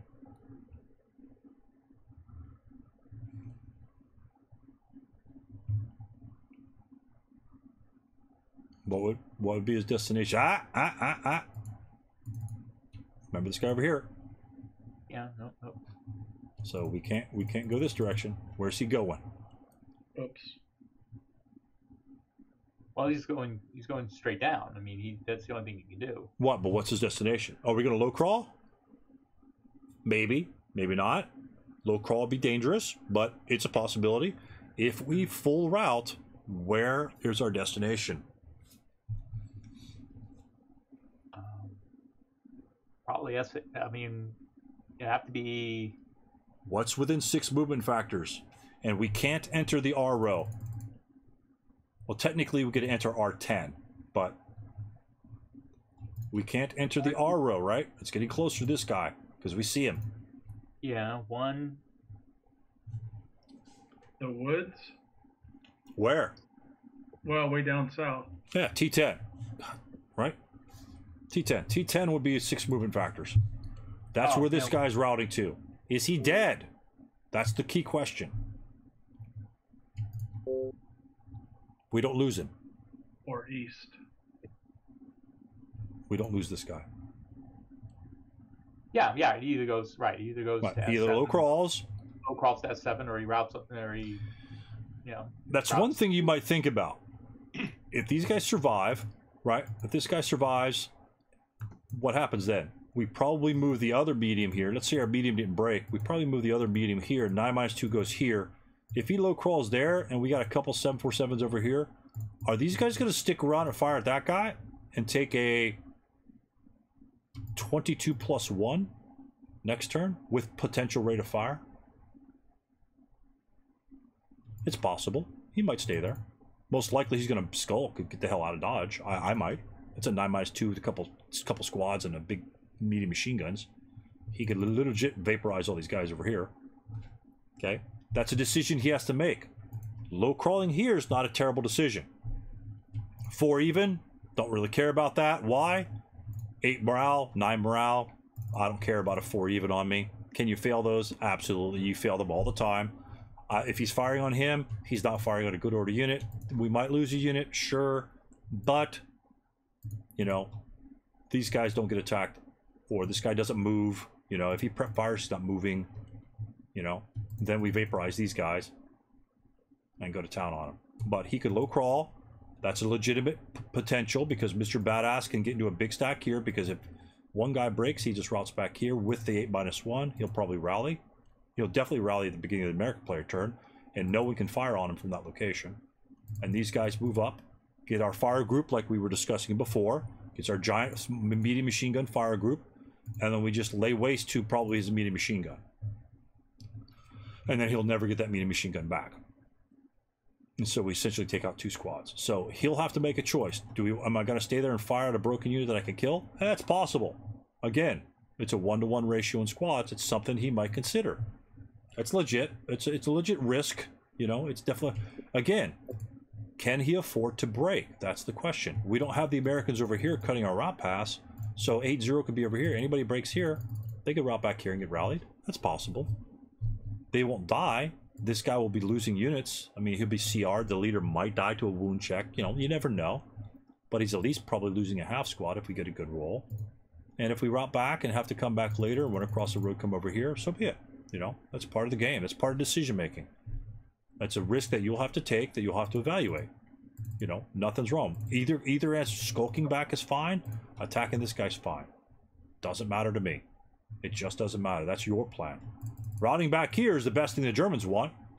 Because now he's way out of the battle. And he can't even get up here to route back. But once he starts routing, if he goes to S8, he's got to go to T10 because he can make it. One, two, three. Actually, there's interdiction there, so he's really screwed. So that's the best of both worlds. He'll probably get interdicted here, and he gets interdicted there. So low crawl, by default, might be a good thing, because he's going to take two interdictions. 9 morale, 8 morale. I wouldn't worry about it too much. You know, I wouldn't worry about it. But that's two, two, morale checks both times. Free attacks, right? How hard is it to get a morale check in plus three buildings? Well, for a normal morale check uh, on these guys, it's like a free sit. Well, plus three, it'd be like a 16 shot. 16 chart is the same thing. 16 plus three is the same thing as an interdiction check. Are we getting a 16 plus three with the Germans in this game? Most likely. Nah. Uh, probably not. Yeah. No. Probably not. You, you probably want to split up your fire. But it might happen point blank late game. But this essentially is these are 16 plus three shots. Free free shots. You know, do we want to give them to him? I don't know. Again, something you have to evaluate. But we can. I just want to point out where he needs to route to is T10. Can't route here. We can't jump over the hedge because then we can't reach it. One, two, three, four, five, oh, seven. Gotta go straight down. Boom. So we know that if we break, we're still alive. And this is turn two. We have three turns to make it back up. With a leader, he can move eight eight movement factors on a CX, and then six, and then eight. So he's got high mobility, so that's not a problem. But we don't break. Let's say we don't break. Again, that's the number one thing. If we break there, do we die? Since we're not going to die, that's a good spot to be. This guy's fire attack is going to be 4 plus 2. Irrelevant. These guys, subsequent first fire because you're two hexes away. What is their attack? They fire again. Say, oh shit, he got across the road. Didn't see that coming. What's their attack right there? It's like a six plus two. Well, no, plus four. How, how much firepower we got for the Germans?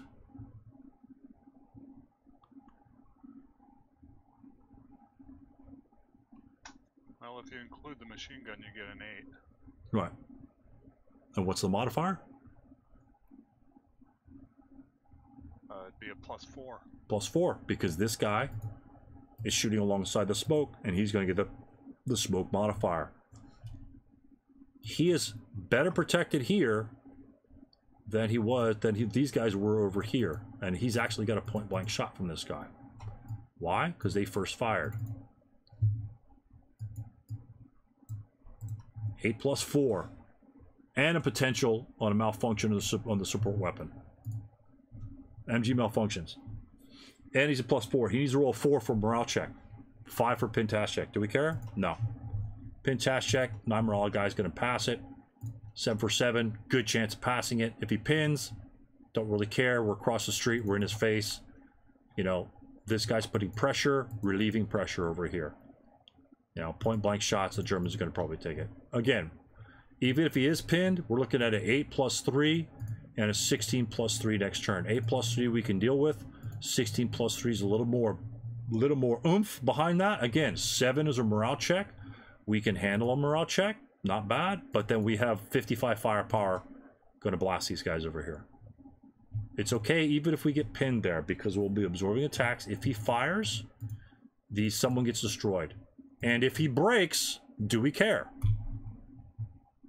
No. We've already determined that's a safe spot to break in. So we simply low crawl or route back and take interdiction check. Your the decision is yours. It's based upon what you guys decide upon that. I don't care. The what your decision making is your decision making at that point. They're both good. They're both good good spots there. At that point, what you might do is if you're sneaky, you might blast this guy because this guy might self rally and then cause him to route. And then guess what? Now you can route into your stone buildings. This guy might be a slight price. If you've got a stack two four four seven four sevens here, and you got badass right here, you know badass might blast the medium. The twelve firepower goes over here, and maybe, just maybe, he wants to route out of that building. If he routes out of that building, right here, out of line of sight, two, one, two, three, four, five. Actually, he probably have to go up here. Uh, if he wants to route, he might go crawl. Don't know. Whatever he's going to do. Most people will route. Some don't. But if he does route, now we can come down. come down here. Now we can come down here and not be quite so far away. Is it a big deal? Eh, probably not. Not really. Not really. So, um, and then of course, if we're not pinned, we can engage in close combat. Two to one. We got an ambush with a minus one modifier. We have an advantage in the ambush. We have an advantage in close combat, which we want. Uh, you know, that's that's lo- what type of advantage do we have in close combat? Not just two to one. Get your close combat charts out. Look at your advantage. He has a one to two against us.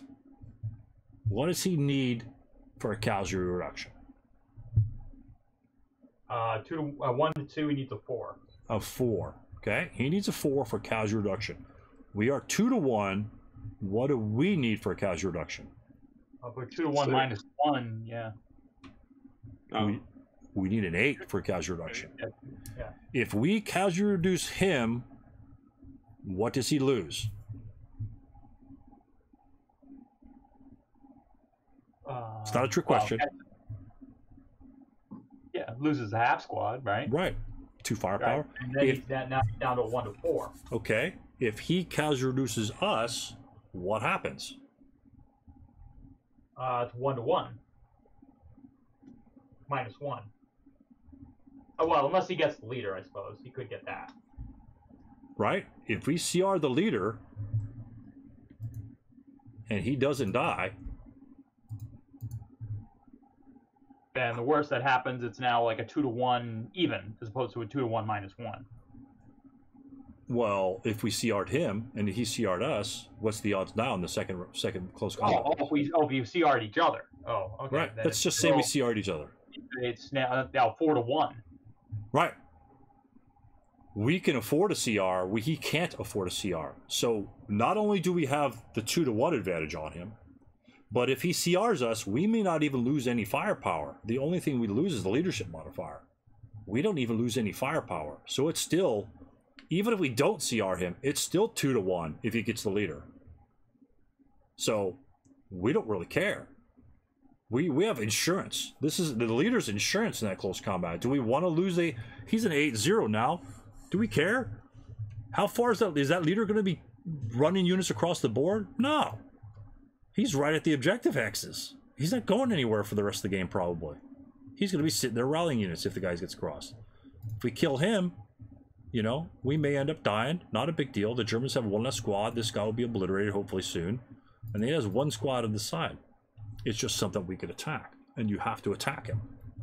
You know, you may not want to do it this way, but you know, you, you kind of get my point. Oops, undo. Oh, dang it. Undo the. So even if we get CR'd in close combat, that's not the end of the world. We still may have our 747 alive at the end of that CR. And if we kill him with a 7 and he CRs us, we still may not lose any firepower. And then what's he got? He's got his two rally units right there that we're going to vaporize. Because if we vaporize these guys, or just vaporize him, he can't rally anybody. Then the game's over. Once he loses the leader, of the game this game's pretty much over. So, let me let me unhip these guys. So do you see do you see how we we approach the smoke and getting this? We only have one smoke on the board, gentlemen. One smoke. This guy failed. This guy got blasted. We were to smoke him, smoke here, smoke here, and all, you know, the, the, the heavens will open up, rainbows will shine down upon us, and we'll find a pot of gold. We got nothing. We got a broken dude here, a broken dude with a medium, and a broken leader, but we got a smoke, and we get this guy in close combat. Whereas, did we get our objective? Yeah, we got our objective. These guys broken. What are they going to need to rally next turn? in the German rally phase, what do these troops in this hex need to rally? Uh, in which hex? Sorry. Uh, the one that we moved into to sucked up all of his shots. Oh, I mean, we're looking at uh, what leader takes a leader needs a four. Um,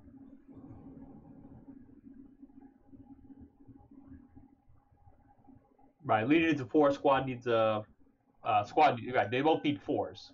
Do they? Where do you think Mr. Badass is going to go? well, yeah. If he jump right, well, if he jumps in, sure, yeah. Now you're talking sixes, right? Yeah, Badass is going there. A, he wants the medium machine up, up anyway. This Yeah, medium's okay. probably going 2 4, right? Yep. Now, what do we need to rally that unit? Mr. Badass is in the hex with his minus 2 modifier. Sixes. No, well, now you need sevens. All right. Do you see guys see the sevens? You're not self rallying anymore. Oh, that's right. Self rally, terrain bonus, minus two leader. So essentially, we're taking three off the DM. We need sevens. Seven's not bad. Who do we want? Do we care about the leader? We want that eight, the, that seven four seven up. The leader can rally sometime else. We want the seven four seven up. So a seven there is good. Mr. Badass completely safe there. We got a squad there. We got one other squad in there. This guy's going over here. Or this guy might be following that guy up. You know, this guy makes it through. If he makes it through, shit, this guy could go one, two, three, four. Now we got two squads across the road. Now the chicken did get across the road. And guess what? We might actually take the medium machine gun across the road. Is this unit moving here to attack us on this side? We have a squad here and a half squad here. Is this unit going to move out and attack us? Not successfully. No. Mr. Badass is going to be safe. We have a 747 in this location. These guys aren't even coming over. This flank is protected. Even if we put three squads, and I mean, imagine if you saw, since all those guys fired, there's a little bit of residual in there, mind you. You know, not much. This guy's got like one residual or two residual. Two plus two, I don't care. This is potentially what you can have by dropping this one smoke there and getting this guy to fire there. Because if he fires here, if he doesn't fire here and we smoke this hex, right? And he fires here at 12 plus 1. What are the residual firepowers in S7 that the first units moved across in? What's the firepower? Uh, normally be six, but you're down four, two. Two. Yep. What shot did we take when we took that shot? 12 plus 1, right? Yep. Okay. When we move into that residual hex, because we're not moving here, because this guy could then fire upon us. That ain't happening. When we move into this location there with the residual firepower, because he chose not to fire on our medium machine gun over here, and this is the importance of baiting the enemy. Let's see, he didn't fire on any of these guys. He says, screw that. I'm waiting for the juice to come because he dropped smoke. And he got us.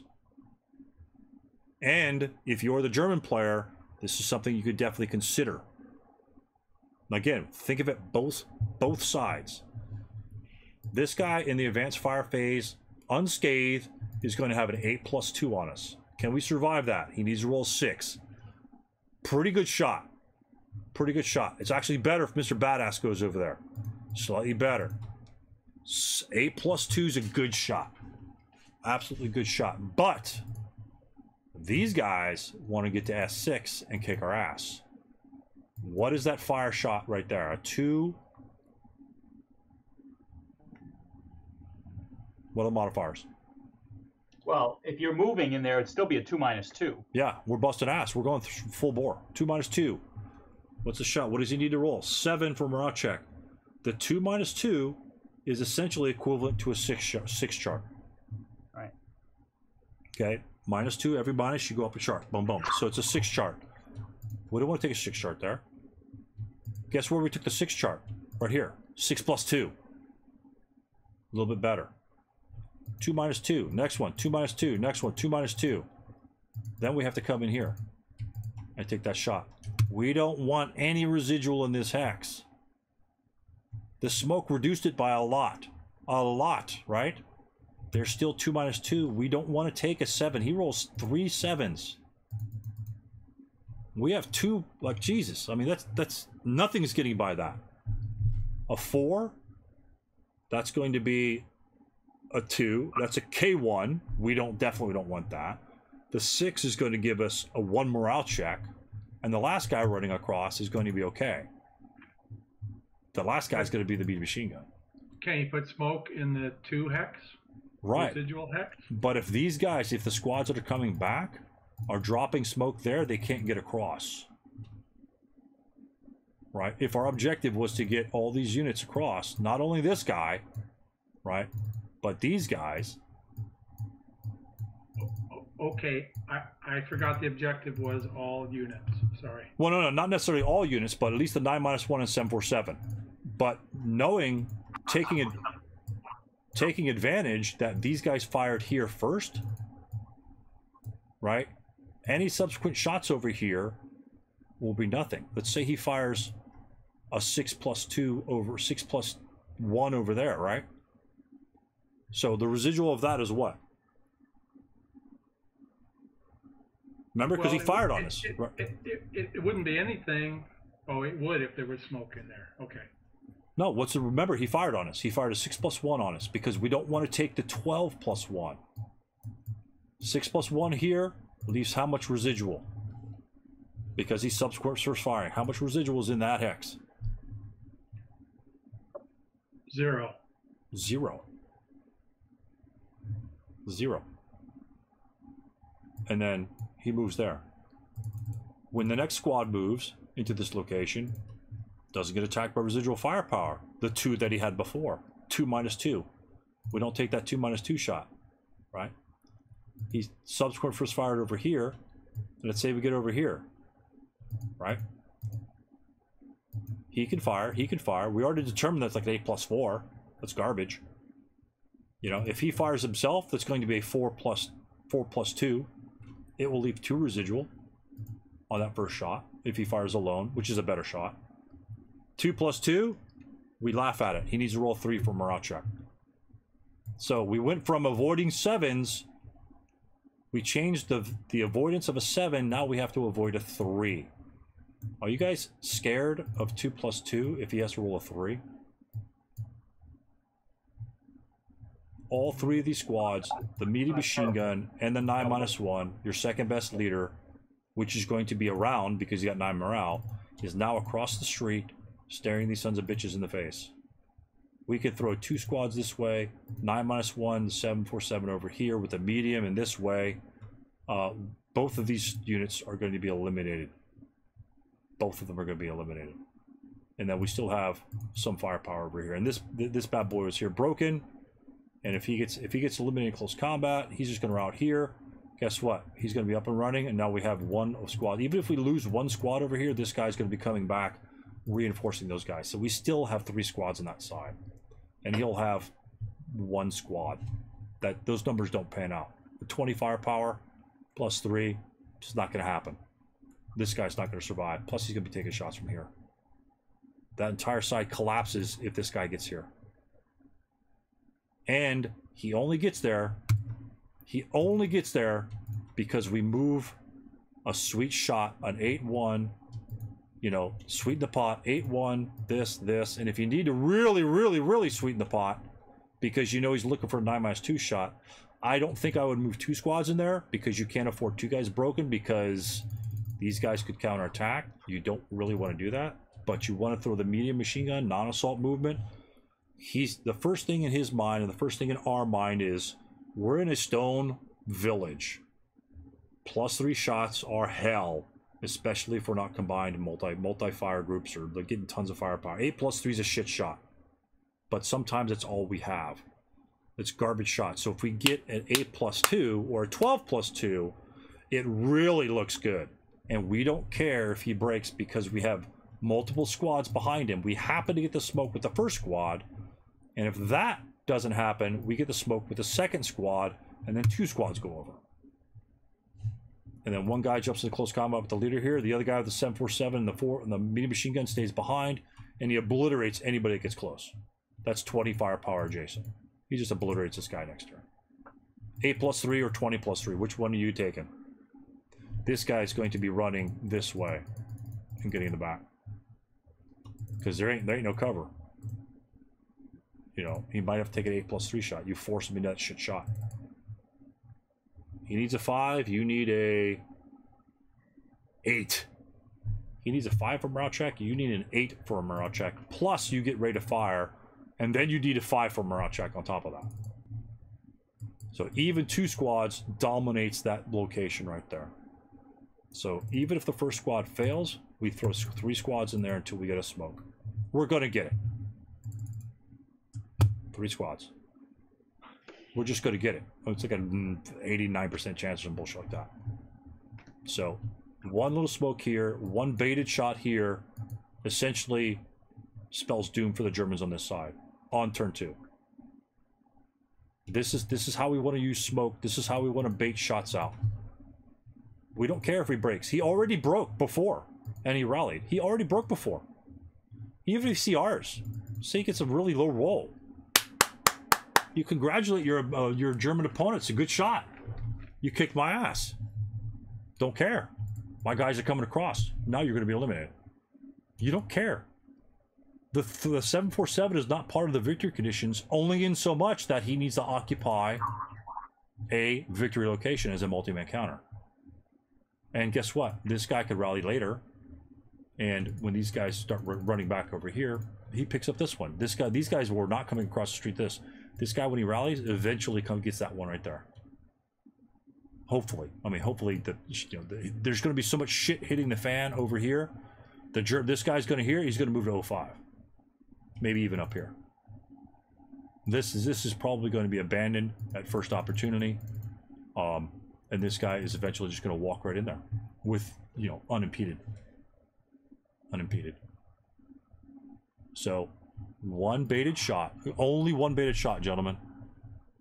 We want we want that 12 firepower off of the table from S7. We want it off the table. If we don't get a smoke there, we probably don't move there because now it's a six minus two. We probably don't, and we just do the same thing next turn. We try we try next turn. You know, we got lots of smoke. We have three exponent. If we fail three in a row, so be it. I mean, it happens. It happens. We, we all know what happened. We got actually five. At that point, the nine minus one could smoke him for himself, and then so that's two, four, six. He can still get there. And then the other squad, if necessary, one, two, three, four, five, CX across. CX the medium machine gun across. Does the is the plus one gonna matter? Is a 20 plus three or 20 plus four gonna matter? Is is there a difference between the charts? No, it's insignificant. A 20 plus 3 or 20 plus 4, insignificant. You need a 7 or 8. 7 or 8 for a morale check. Oh, yeah, we, we- we screwed up. Anyway, third shot gets, gets a shot. So, but it doesn't matter. He's going to be scared shitless anyway. He may run. We don't go. If you're firing 20 firepower, 24 firepower, CX is irrelevant. It's just like if you're firing 24 firepower, right? Is is Mr. Badass over here with one squad and this guy here? Is this a better attack chart than this shot or than this guy over here? Let's say, uh, oh, not there. Let's say we have this 8 minus 1, this stack. Do you want the 8 minus 1 here and the 9 minus 2 there? Or vice versa? Which which would you prefer? Which would you prefer? Where are most people going to put their 9 minus 2 leader? Usually with at least one machine gun. Ah, usually the 9 minus 2 is going to go there, right? Okay. Take a second. We need to break units. He has 14, 16 firepower. Essentially be a 16 plus 1. He needs a 9 for a morale check. Okay, he's going to get a morale check, one morale check. One morale check, we pass one morale checks all the time. I mean, Mark, my game the other day, I was passing morale checks left and right. Just left and right. He was getting good good rolls on me. I was passing left and right. Okay, so this guy over here, A plus 2. What do we need an A plus 2 for check? We need a 6. Well, let's change it up a little bit. We want to break units, remember. Are there any leaders on this side of the map? Any leaders could rally any broken units over here? Nope. Nope, nobody broken. An 8 plus 1 yields a 7. for morale check. This stack here is going to be a 16 plus 2. Is this right? 16 plus 2, 10, 12. That's almost a pin task check. That's a shitty 10. 16 plus 2 means we need an 8 for morale check. 8 plus 1 means we need a 7 for morale check. They're almost equivalent charts. So we just need to roll 7s and 8s, which are the average. And we got morale checks coming out of our ass. He has just got a 7 morale. If he was 8 morale, you might want to beef up the firepower a little bit.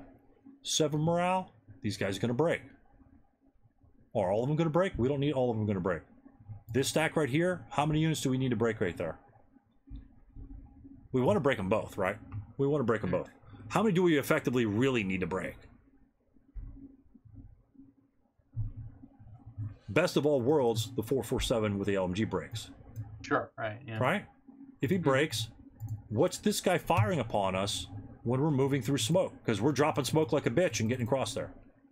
What's his attack going to be? Four plus one at best. Four plus one, he needs a five for morale check. We're rolling sevens and eights. He's rolling five. Who's going to win that? We are. We break one unit this turn, we break the other guy next turn. Is he going to rally? Nope. If he is, he's back here. Is he in the objective area? Nope. This guy breaks turn afterwards. He goes back there because they don't have a leader. Because he was DM the first time. He might rally the turn after that. Doesn't matter. We're in the area at that point, hopefully. Alright, he's on top. Right? He can't even see this objective. We break this guy. This stack over here is probably breaking these guys. And we've got our 9 minus 1 assault group that's already destroyed at least one squad. This squad is dead. I don't care how you how you roll the odds on that one. Unless you get really unlucky, this guy this guy is gone 100% of the time. You might lose some casualties. We don't care. Mm. We just control that building. Is he taking this building? Let's say, let's say we lose that guy and that guy for some reason. Casual reduce, choose those guys, and this guy's gone. And we have that. The only thing there, there's that guy. And smoke's gone. We got our we got our 16 plus two. We got our eight plus one. We got this German half squad still here. For some reason, he's still alive. And this guy's broken over here. All this shit's off the map. I can delete this. Let me get that all- All this is off the map. All this is dead. That's the situation. Is he moving to S6? Nope. Is he staying there for any length of time? Nope. 20, 16, 8. 20 plus 3, same as 16 plus 2. Exact same shot. This is exactly the same shot as this, which is very close to that same shot there. So, a 20 plus 3, we need a whopping 8. 8 morale check, 8 morale check, 7 morale check. 8, 8, 7. Morale checks is morale check, morale check. Okay, he's pinned. Not bad. What happens? Close combat. We pin him up. He dies. This guy, let's say he moves here. How these guys gonna get across the street? Let's say we don't close, jump in close combat. How these guys get across the street? Smoke. We just smoke. Continue to smoke. Anytime you move across the street, if we got two squads here, we got three squads. Do we need them all across the street? No, there's not enough room. I mean, there's just there's just physically not enough room. One guy's gonna smoke. Maybe the next guy smokes. Smoke and then assault move somewhere. Smoke and then if that doesn't work, assault move over here. Maybe should throw a shot out. Remember, if he goes over there and breaks, you know, comes back here. What's he need to rally in the German player turn? He breaks here, route back here. Because guess guess what? If we move into this hex, where can we route to? Even if the German's right here, we can still route to our nine minus two because we know that. hmm If we if we moved a unit up here into R6, where can we route to? Can we get to the 9 minus 2 if it's the German player's turn? So if you want to break, which of these hexes do you want to break in? Do you want to break here or do you want to break here? Which one gives you the best chance of rallying next turn?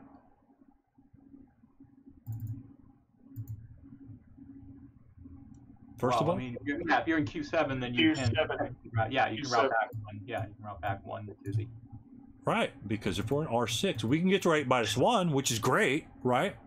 Nothing's Yep. wrong with getting to the 8 minus 1. We at least get that attempt to rally. That's absolutely fantastic. That's, that's you know, that's game plan number one has succeeded. This is a better spot because we can get to this guy. Do we want to route to this location? Probably not, because that means we need to move up when we rallied, and then he'll get a shot at us, and so on and so forth. You want to stay in these stone buildings. If we if we're taking fire here, he's not DMing this guy. We're rallying this guy on a seven. Let's route. That's a German player turn. We say he DM'd us again. We're on next turn. Okay, now we're screwed. But we could self rally this guy. Oh, actually, roll morale checks. Not rally. No hit, nothing there. Next turn after that, okay, we're screwed. So in that case, we just get screwed. You know, you're not rallying anybody on nines, people. Like I have four, like three nines and a ten in a row. So that's just the way the the, the, the dice bounce sometimes. So, but we're maximizing our chance to get that unit back by getting him a seven instead of a six. Six isn't bad for a DM. Six is absolutely respectable for being a DM'd. But we're using the rally potential or the morale factor of our broken side of an eight, knowing that we have an eight morale, knowing that we can route to our nine minus two leader, you know, we're good to go. And even if we don't like that shot, let's say we don't want to get DM'd all that much, but you know, in the next movement phase, let's say he DM'd us, you know, I don't even think that we can see that guy. Yeah, we can't even see the guy in S6. And technically, if we're here, we could then route this direction if we hate being shot by this guy for turn after turn. We could route there. We might be shot by him, but at least we won't be shot by him. And we get to move our 9 minus 2 up into our big stack. Now the 9 minus 2 does double duty. He fires all the machine guns, he rallies units, and, you know, generally kicking ass. Generally kicking ass. You know, this unit's still not going to come over. We've got two squads, a medium, a half squad, nine minus two leader. There's no way in hell he's going over. There's no purpose for him going over there. He's staying there. He's staying there, coming over here. That's all he's going to do. You know. And this guy will not have. This guy has this guy to worry about. Is this, are these guys going to fire at these guys? Uh, if he's desperate, he might. If he gets some breaks, then he could jump into close combat with this guy. But he needs both squads to get a one to one on this guy. How long are you going to be in close combat with that guy, gentlemen? At one to one odds. Probably rest of the game. Yeah, that's never going to be resolved unless you get a super ass low roll. And you got tied up two squads. Does the American want that? Absolutely. First of all, he's in the hex, so he automatically controls the hex. And if you come after, you don't control it until he's dead. And then how are these guys going to get across the street? Well, you smoke the living shit out of Q7 and you walk across the street with your ice cream. And then you just abolish, you know, then you then you vaporize some of these guys. Again, this this is going to be a cichlid. These Germans don't have to come across, but the N5 is like a little thorn in the back. That's, that's a hard one to see. Nobody can see this hex unless you're down here. Very, very safe hex. But if the American gets any forces in these, he's going to jump in close combat. But again, that might be turn five. That might be late turn four. You know, that's that's might not be a bad choice for the excuse me for the Germans to hang on. That's a very good spot. N five, very tough spot. But do you see how one little smoke? I, I this this is that would be any of it. When I scream smoke, this I don't I don't say everything has to be shrouded in smoke. We failed everywhere but one location. How do we succeed? We succeeded by getting his most powerful shot out of his pocket. We took that shot away from him. We broke. We broke a 8 minus 1. We broke a 747. And our medium can't do shit. Well, do we care about the medium? It couldn't fire anyway. The medium is not going to fire anyway if you move it. So it's like he's firing at a ghost. The medium was not going to be able to fire anyway. Right? And when we rally him on a 7, he's going to fire next turn. So we give him something that really doesn't matter to us too much. But what matters to us is that 12 firepower and 2 residual in S7 after he fires through that smoke. Oop, wrong, wrong counter. This is what we want to avoid because this hero came here. These heroes came here, took two squads to drop smoke there. Might take three. At that point, we still get two squads into S6 and we just kick ass. We don't want any residual in S7. We don't want the minus two bullshit. We want this smoke. This smoke eliminates all minus two. This guy eliminates subsequent for fire. It's so, so important that you guys see that. Once you guys see that, the game becomes real easy when you see setups like this. And you know that he's not going to come this way and pursue you because our victory is over here. This is where the game is determined. Could he? Absolutely. We already covered that. Is it a potential? That is a potential, especially if he's busting ass through here. Because at that point, if this guy pursued him and this guy made it easier to come across, and then he comes over here and he breaks, and he says, fuck it, you know, I'm staying there. I'm firing 16 plus 3. I don't care because if he breaks, he's up shit creek because he can't route backwards. He has to route up this way. And we at that point, if he breaks, what are we going to do with our 8-0? Let's say our 8-0 ran over here. This stack of shit went right here. Where's our 9 minus 1? Let's say that we're right here. And we had our 447 right there. Let me get, let me get this guy here. Okay. This next turn. That's. 8 1 was there. I said we break that, and this guy is over here. This guy ended up right. He breaks. Where's he routing? He could route here, right? One, two, three, four. Absolutely. Again, when you're moving, you want to predict this. When he prep fires, when he prep fires and breaks this unit, what is this unit going to be doing, gentlemen? Is he coming this way? Going that way? Firing back on him? Where, what is this unit doing safely?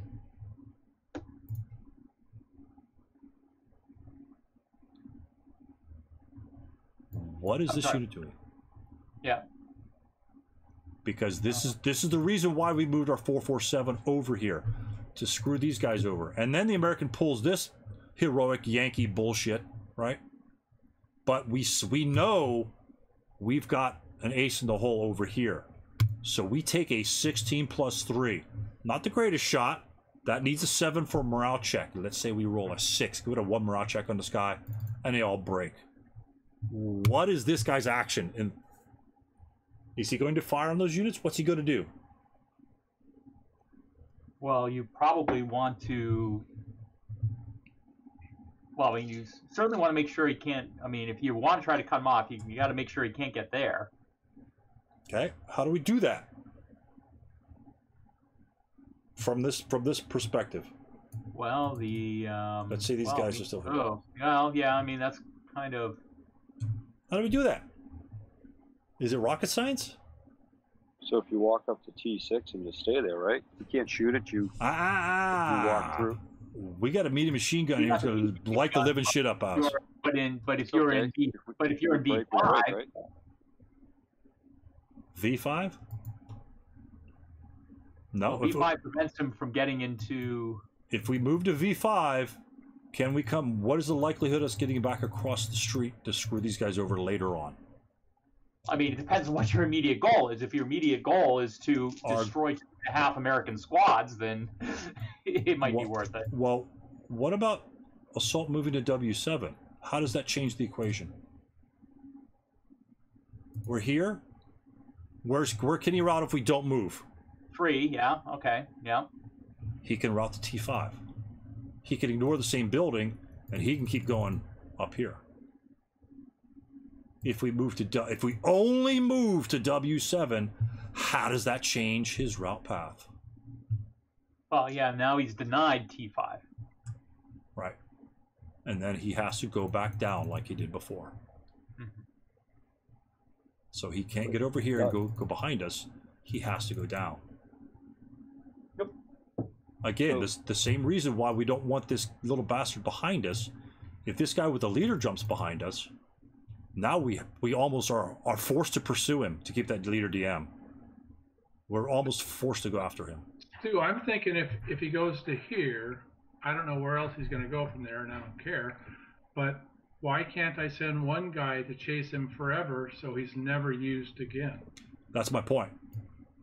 Is he's, you, you, want him to go down here, and what does it matter? Is my question. the same reason why we got rid of this guy, and we don't want this guy coming back here. The same reason why he doesn't want us coming down here. If he breaks there, he doesn't get behind us. If we pursue him, what's the victory conditions? Well, Kill- you're keeping the American away from the victory conditions.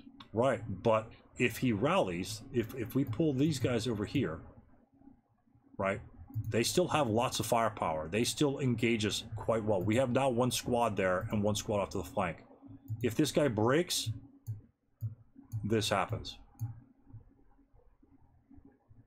Is can this guy counterattack? If this guy can pursue him and then counterattack, not a problem. If this guy pursues him and this happens, and then we smoke the living crap out of this because we have three smoke and we're jumping across the road. We're either getting here or here, depending, because he's got like two or three German squads, right? Then we're just we're just hop skipping and jumping across the road, right? Again, this guy is a problem for the Americans. Why? Because now we have vacated.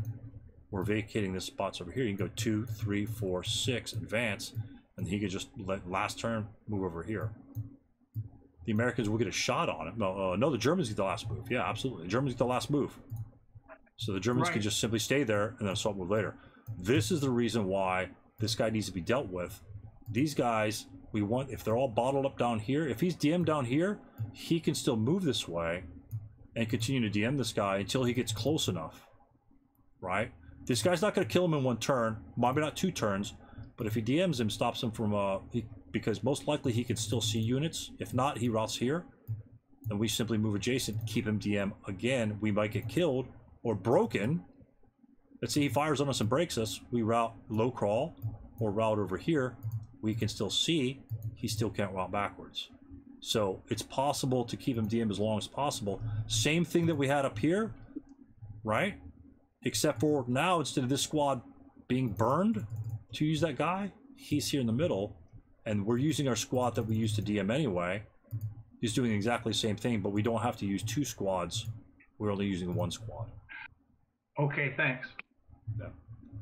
I mean, yes, we can pursue him down there, but if the Americans get across, just like our seven four, like our three squads and our leader, well, let's say two squads and a leader got across. Even the one squad and the leader was disastrous, because the CC we don't care about. We want to eliminate units, get the Germans off the board, and then we could we could just take them with our firepower. It's okay to lose a unit. It's okay to exchange one squad for the one squad, one leader. We don't like it, but it's okay because we have firepower to break this guy, and then there are no other multi-man counters over there, other than the guy was right there. Assuming he's not the one that pursued him.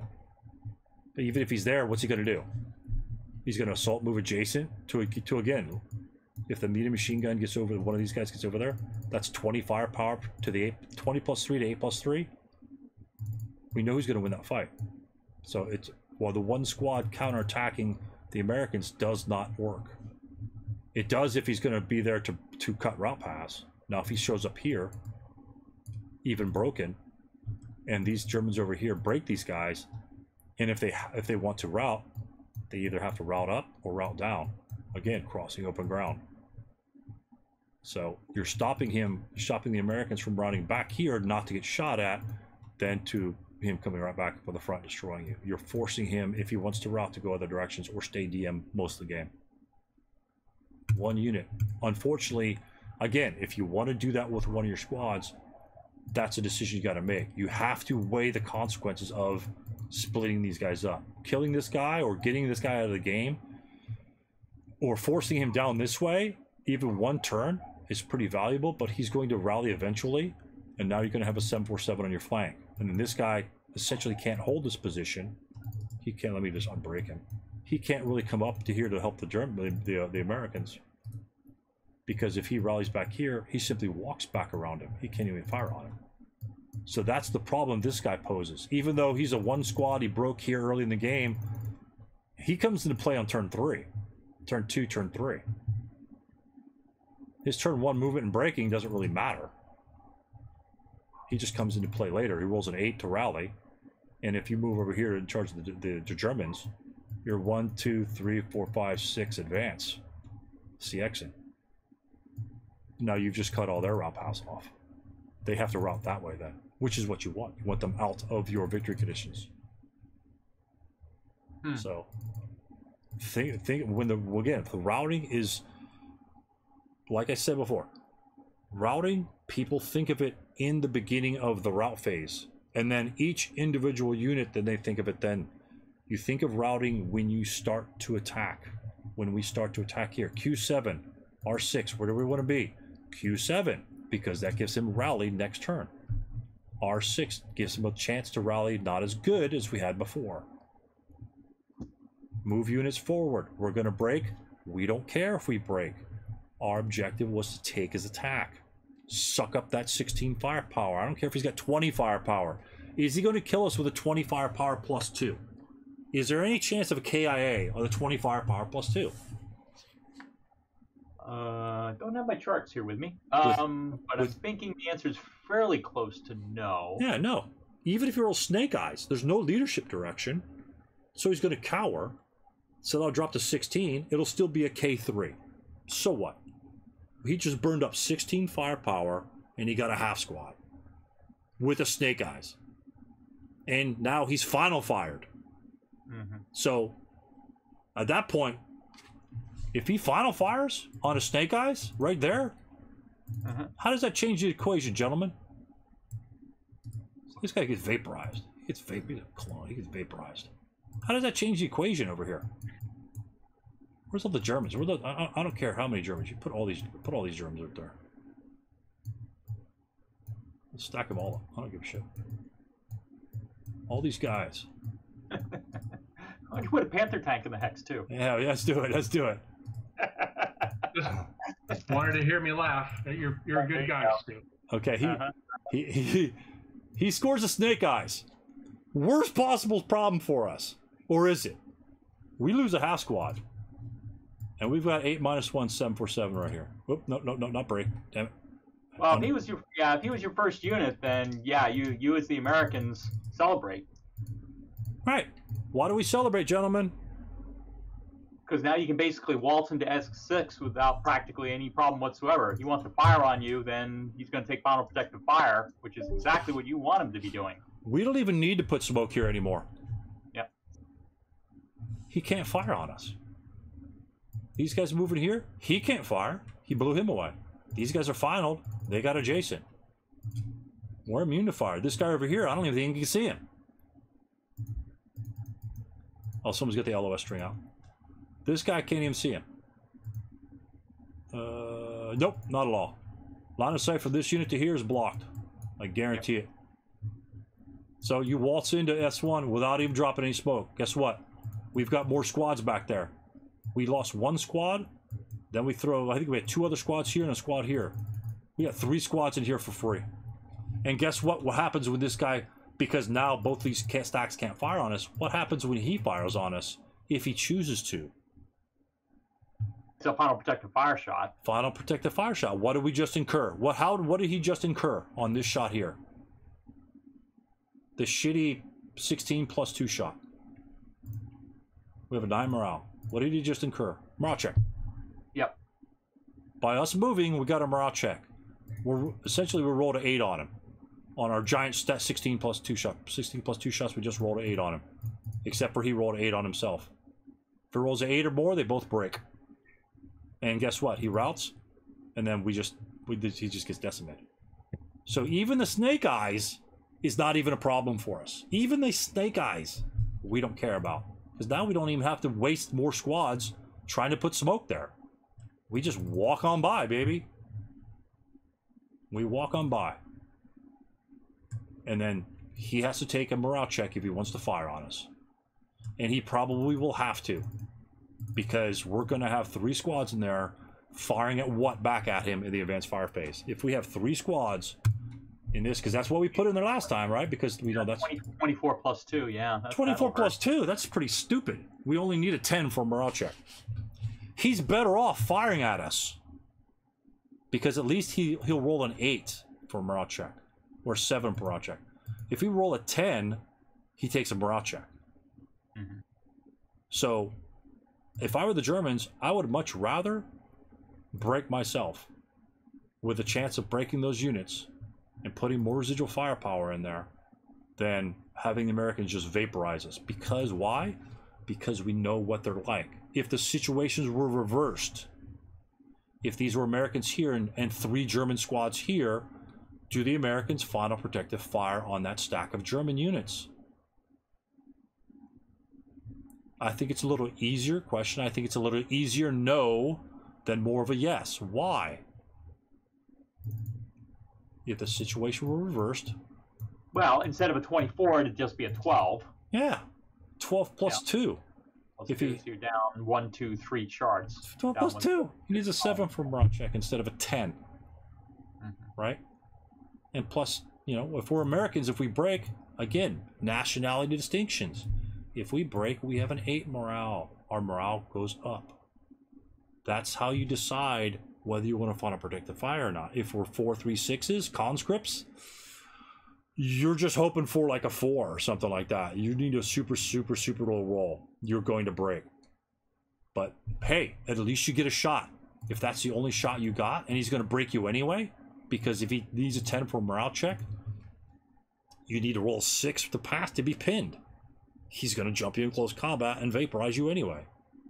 So, really look at it. It's like, okay, if I don't fire, what's he going to do? Is he going to kick my ass? The answer is yes. If I do fire, at least if I if I throw that one punch, maybe I can get that one punch in against that giant, and maybe I get lucky and pop his glass jaw. But if I never take the swing, he's never going to go down. So that's some things you got to risk. If he's going to obliterate you anyway, you might as well take that one shot because you never know what'll happen in this game. But um, not ex- I gotta be honest, not exactly where I wanted to go today, gentlemen. But but I you, think you love this game, Stew. but Yeah, but all the other games were very similar. I mean, we went to turn we got to turn one. This is like a record. I didn't get shit done. But we got to turn one.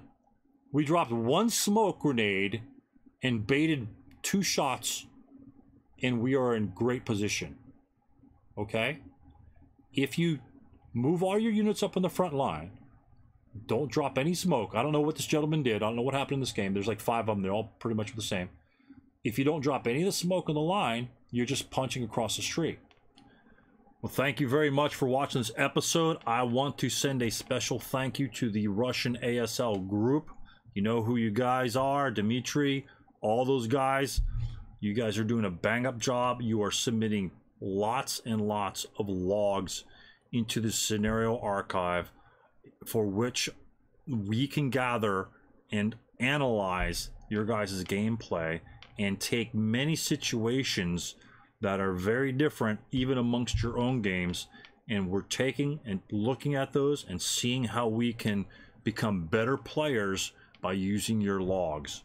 So thank you very much for your contributions. It is not unnoticed. As well as all the people that submit their normal logs through ASL ladders we are accumulating logs through the ladder play and then once we approach three or four logs, we pull them down and we analyze that particular scenario. And also, not only are we analyzing that scenario, we're using that scenario and we're incorporating the basic principles of ASL in getting things done, achieving our goals, completing our plans. Simple as that. A little bit of analysis goes a long way. Learn the route, you'll be fine. We'll catch you next time on Tactical Tuesday.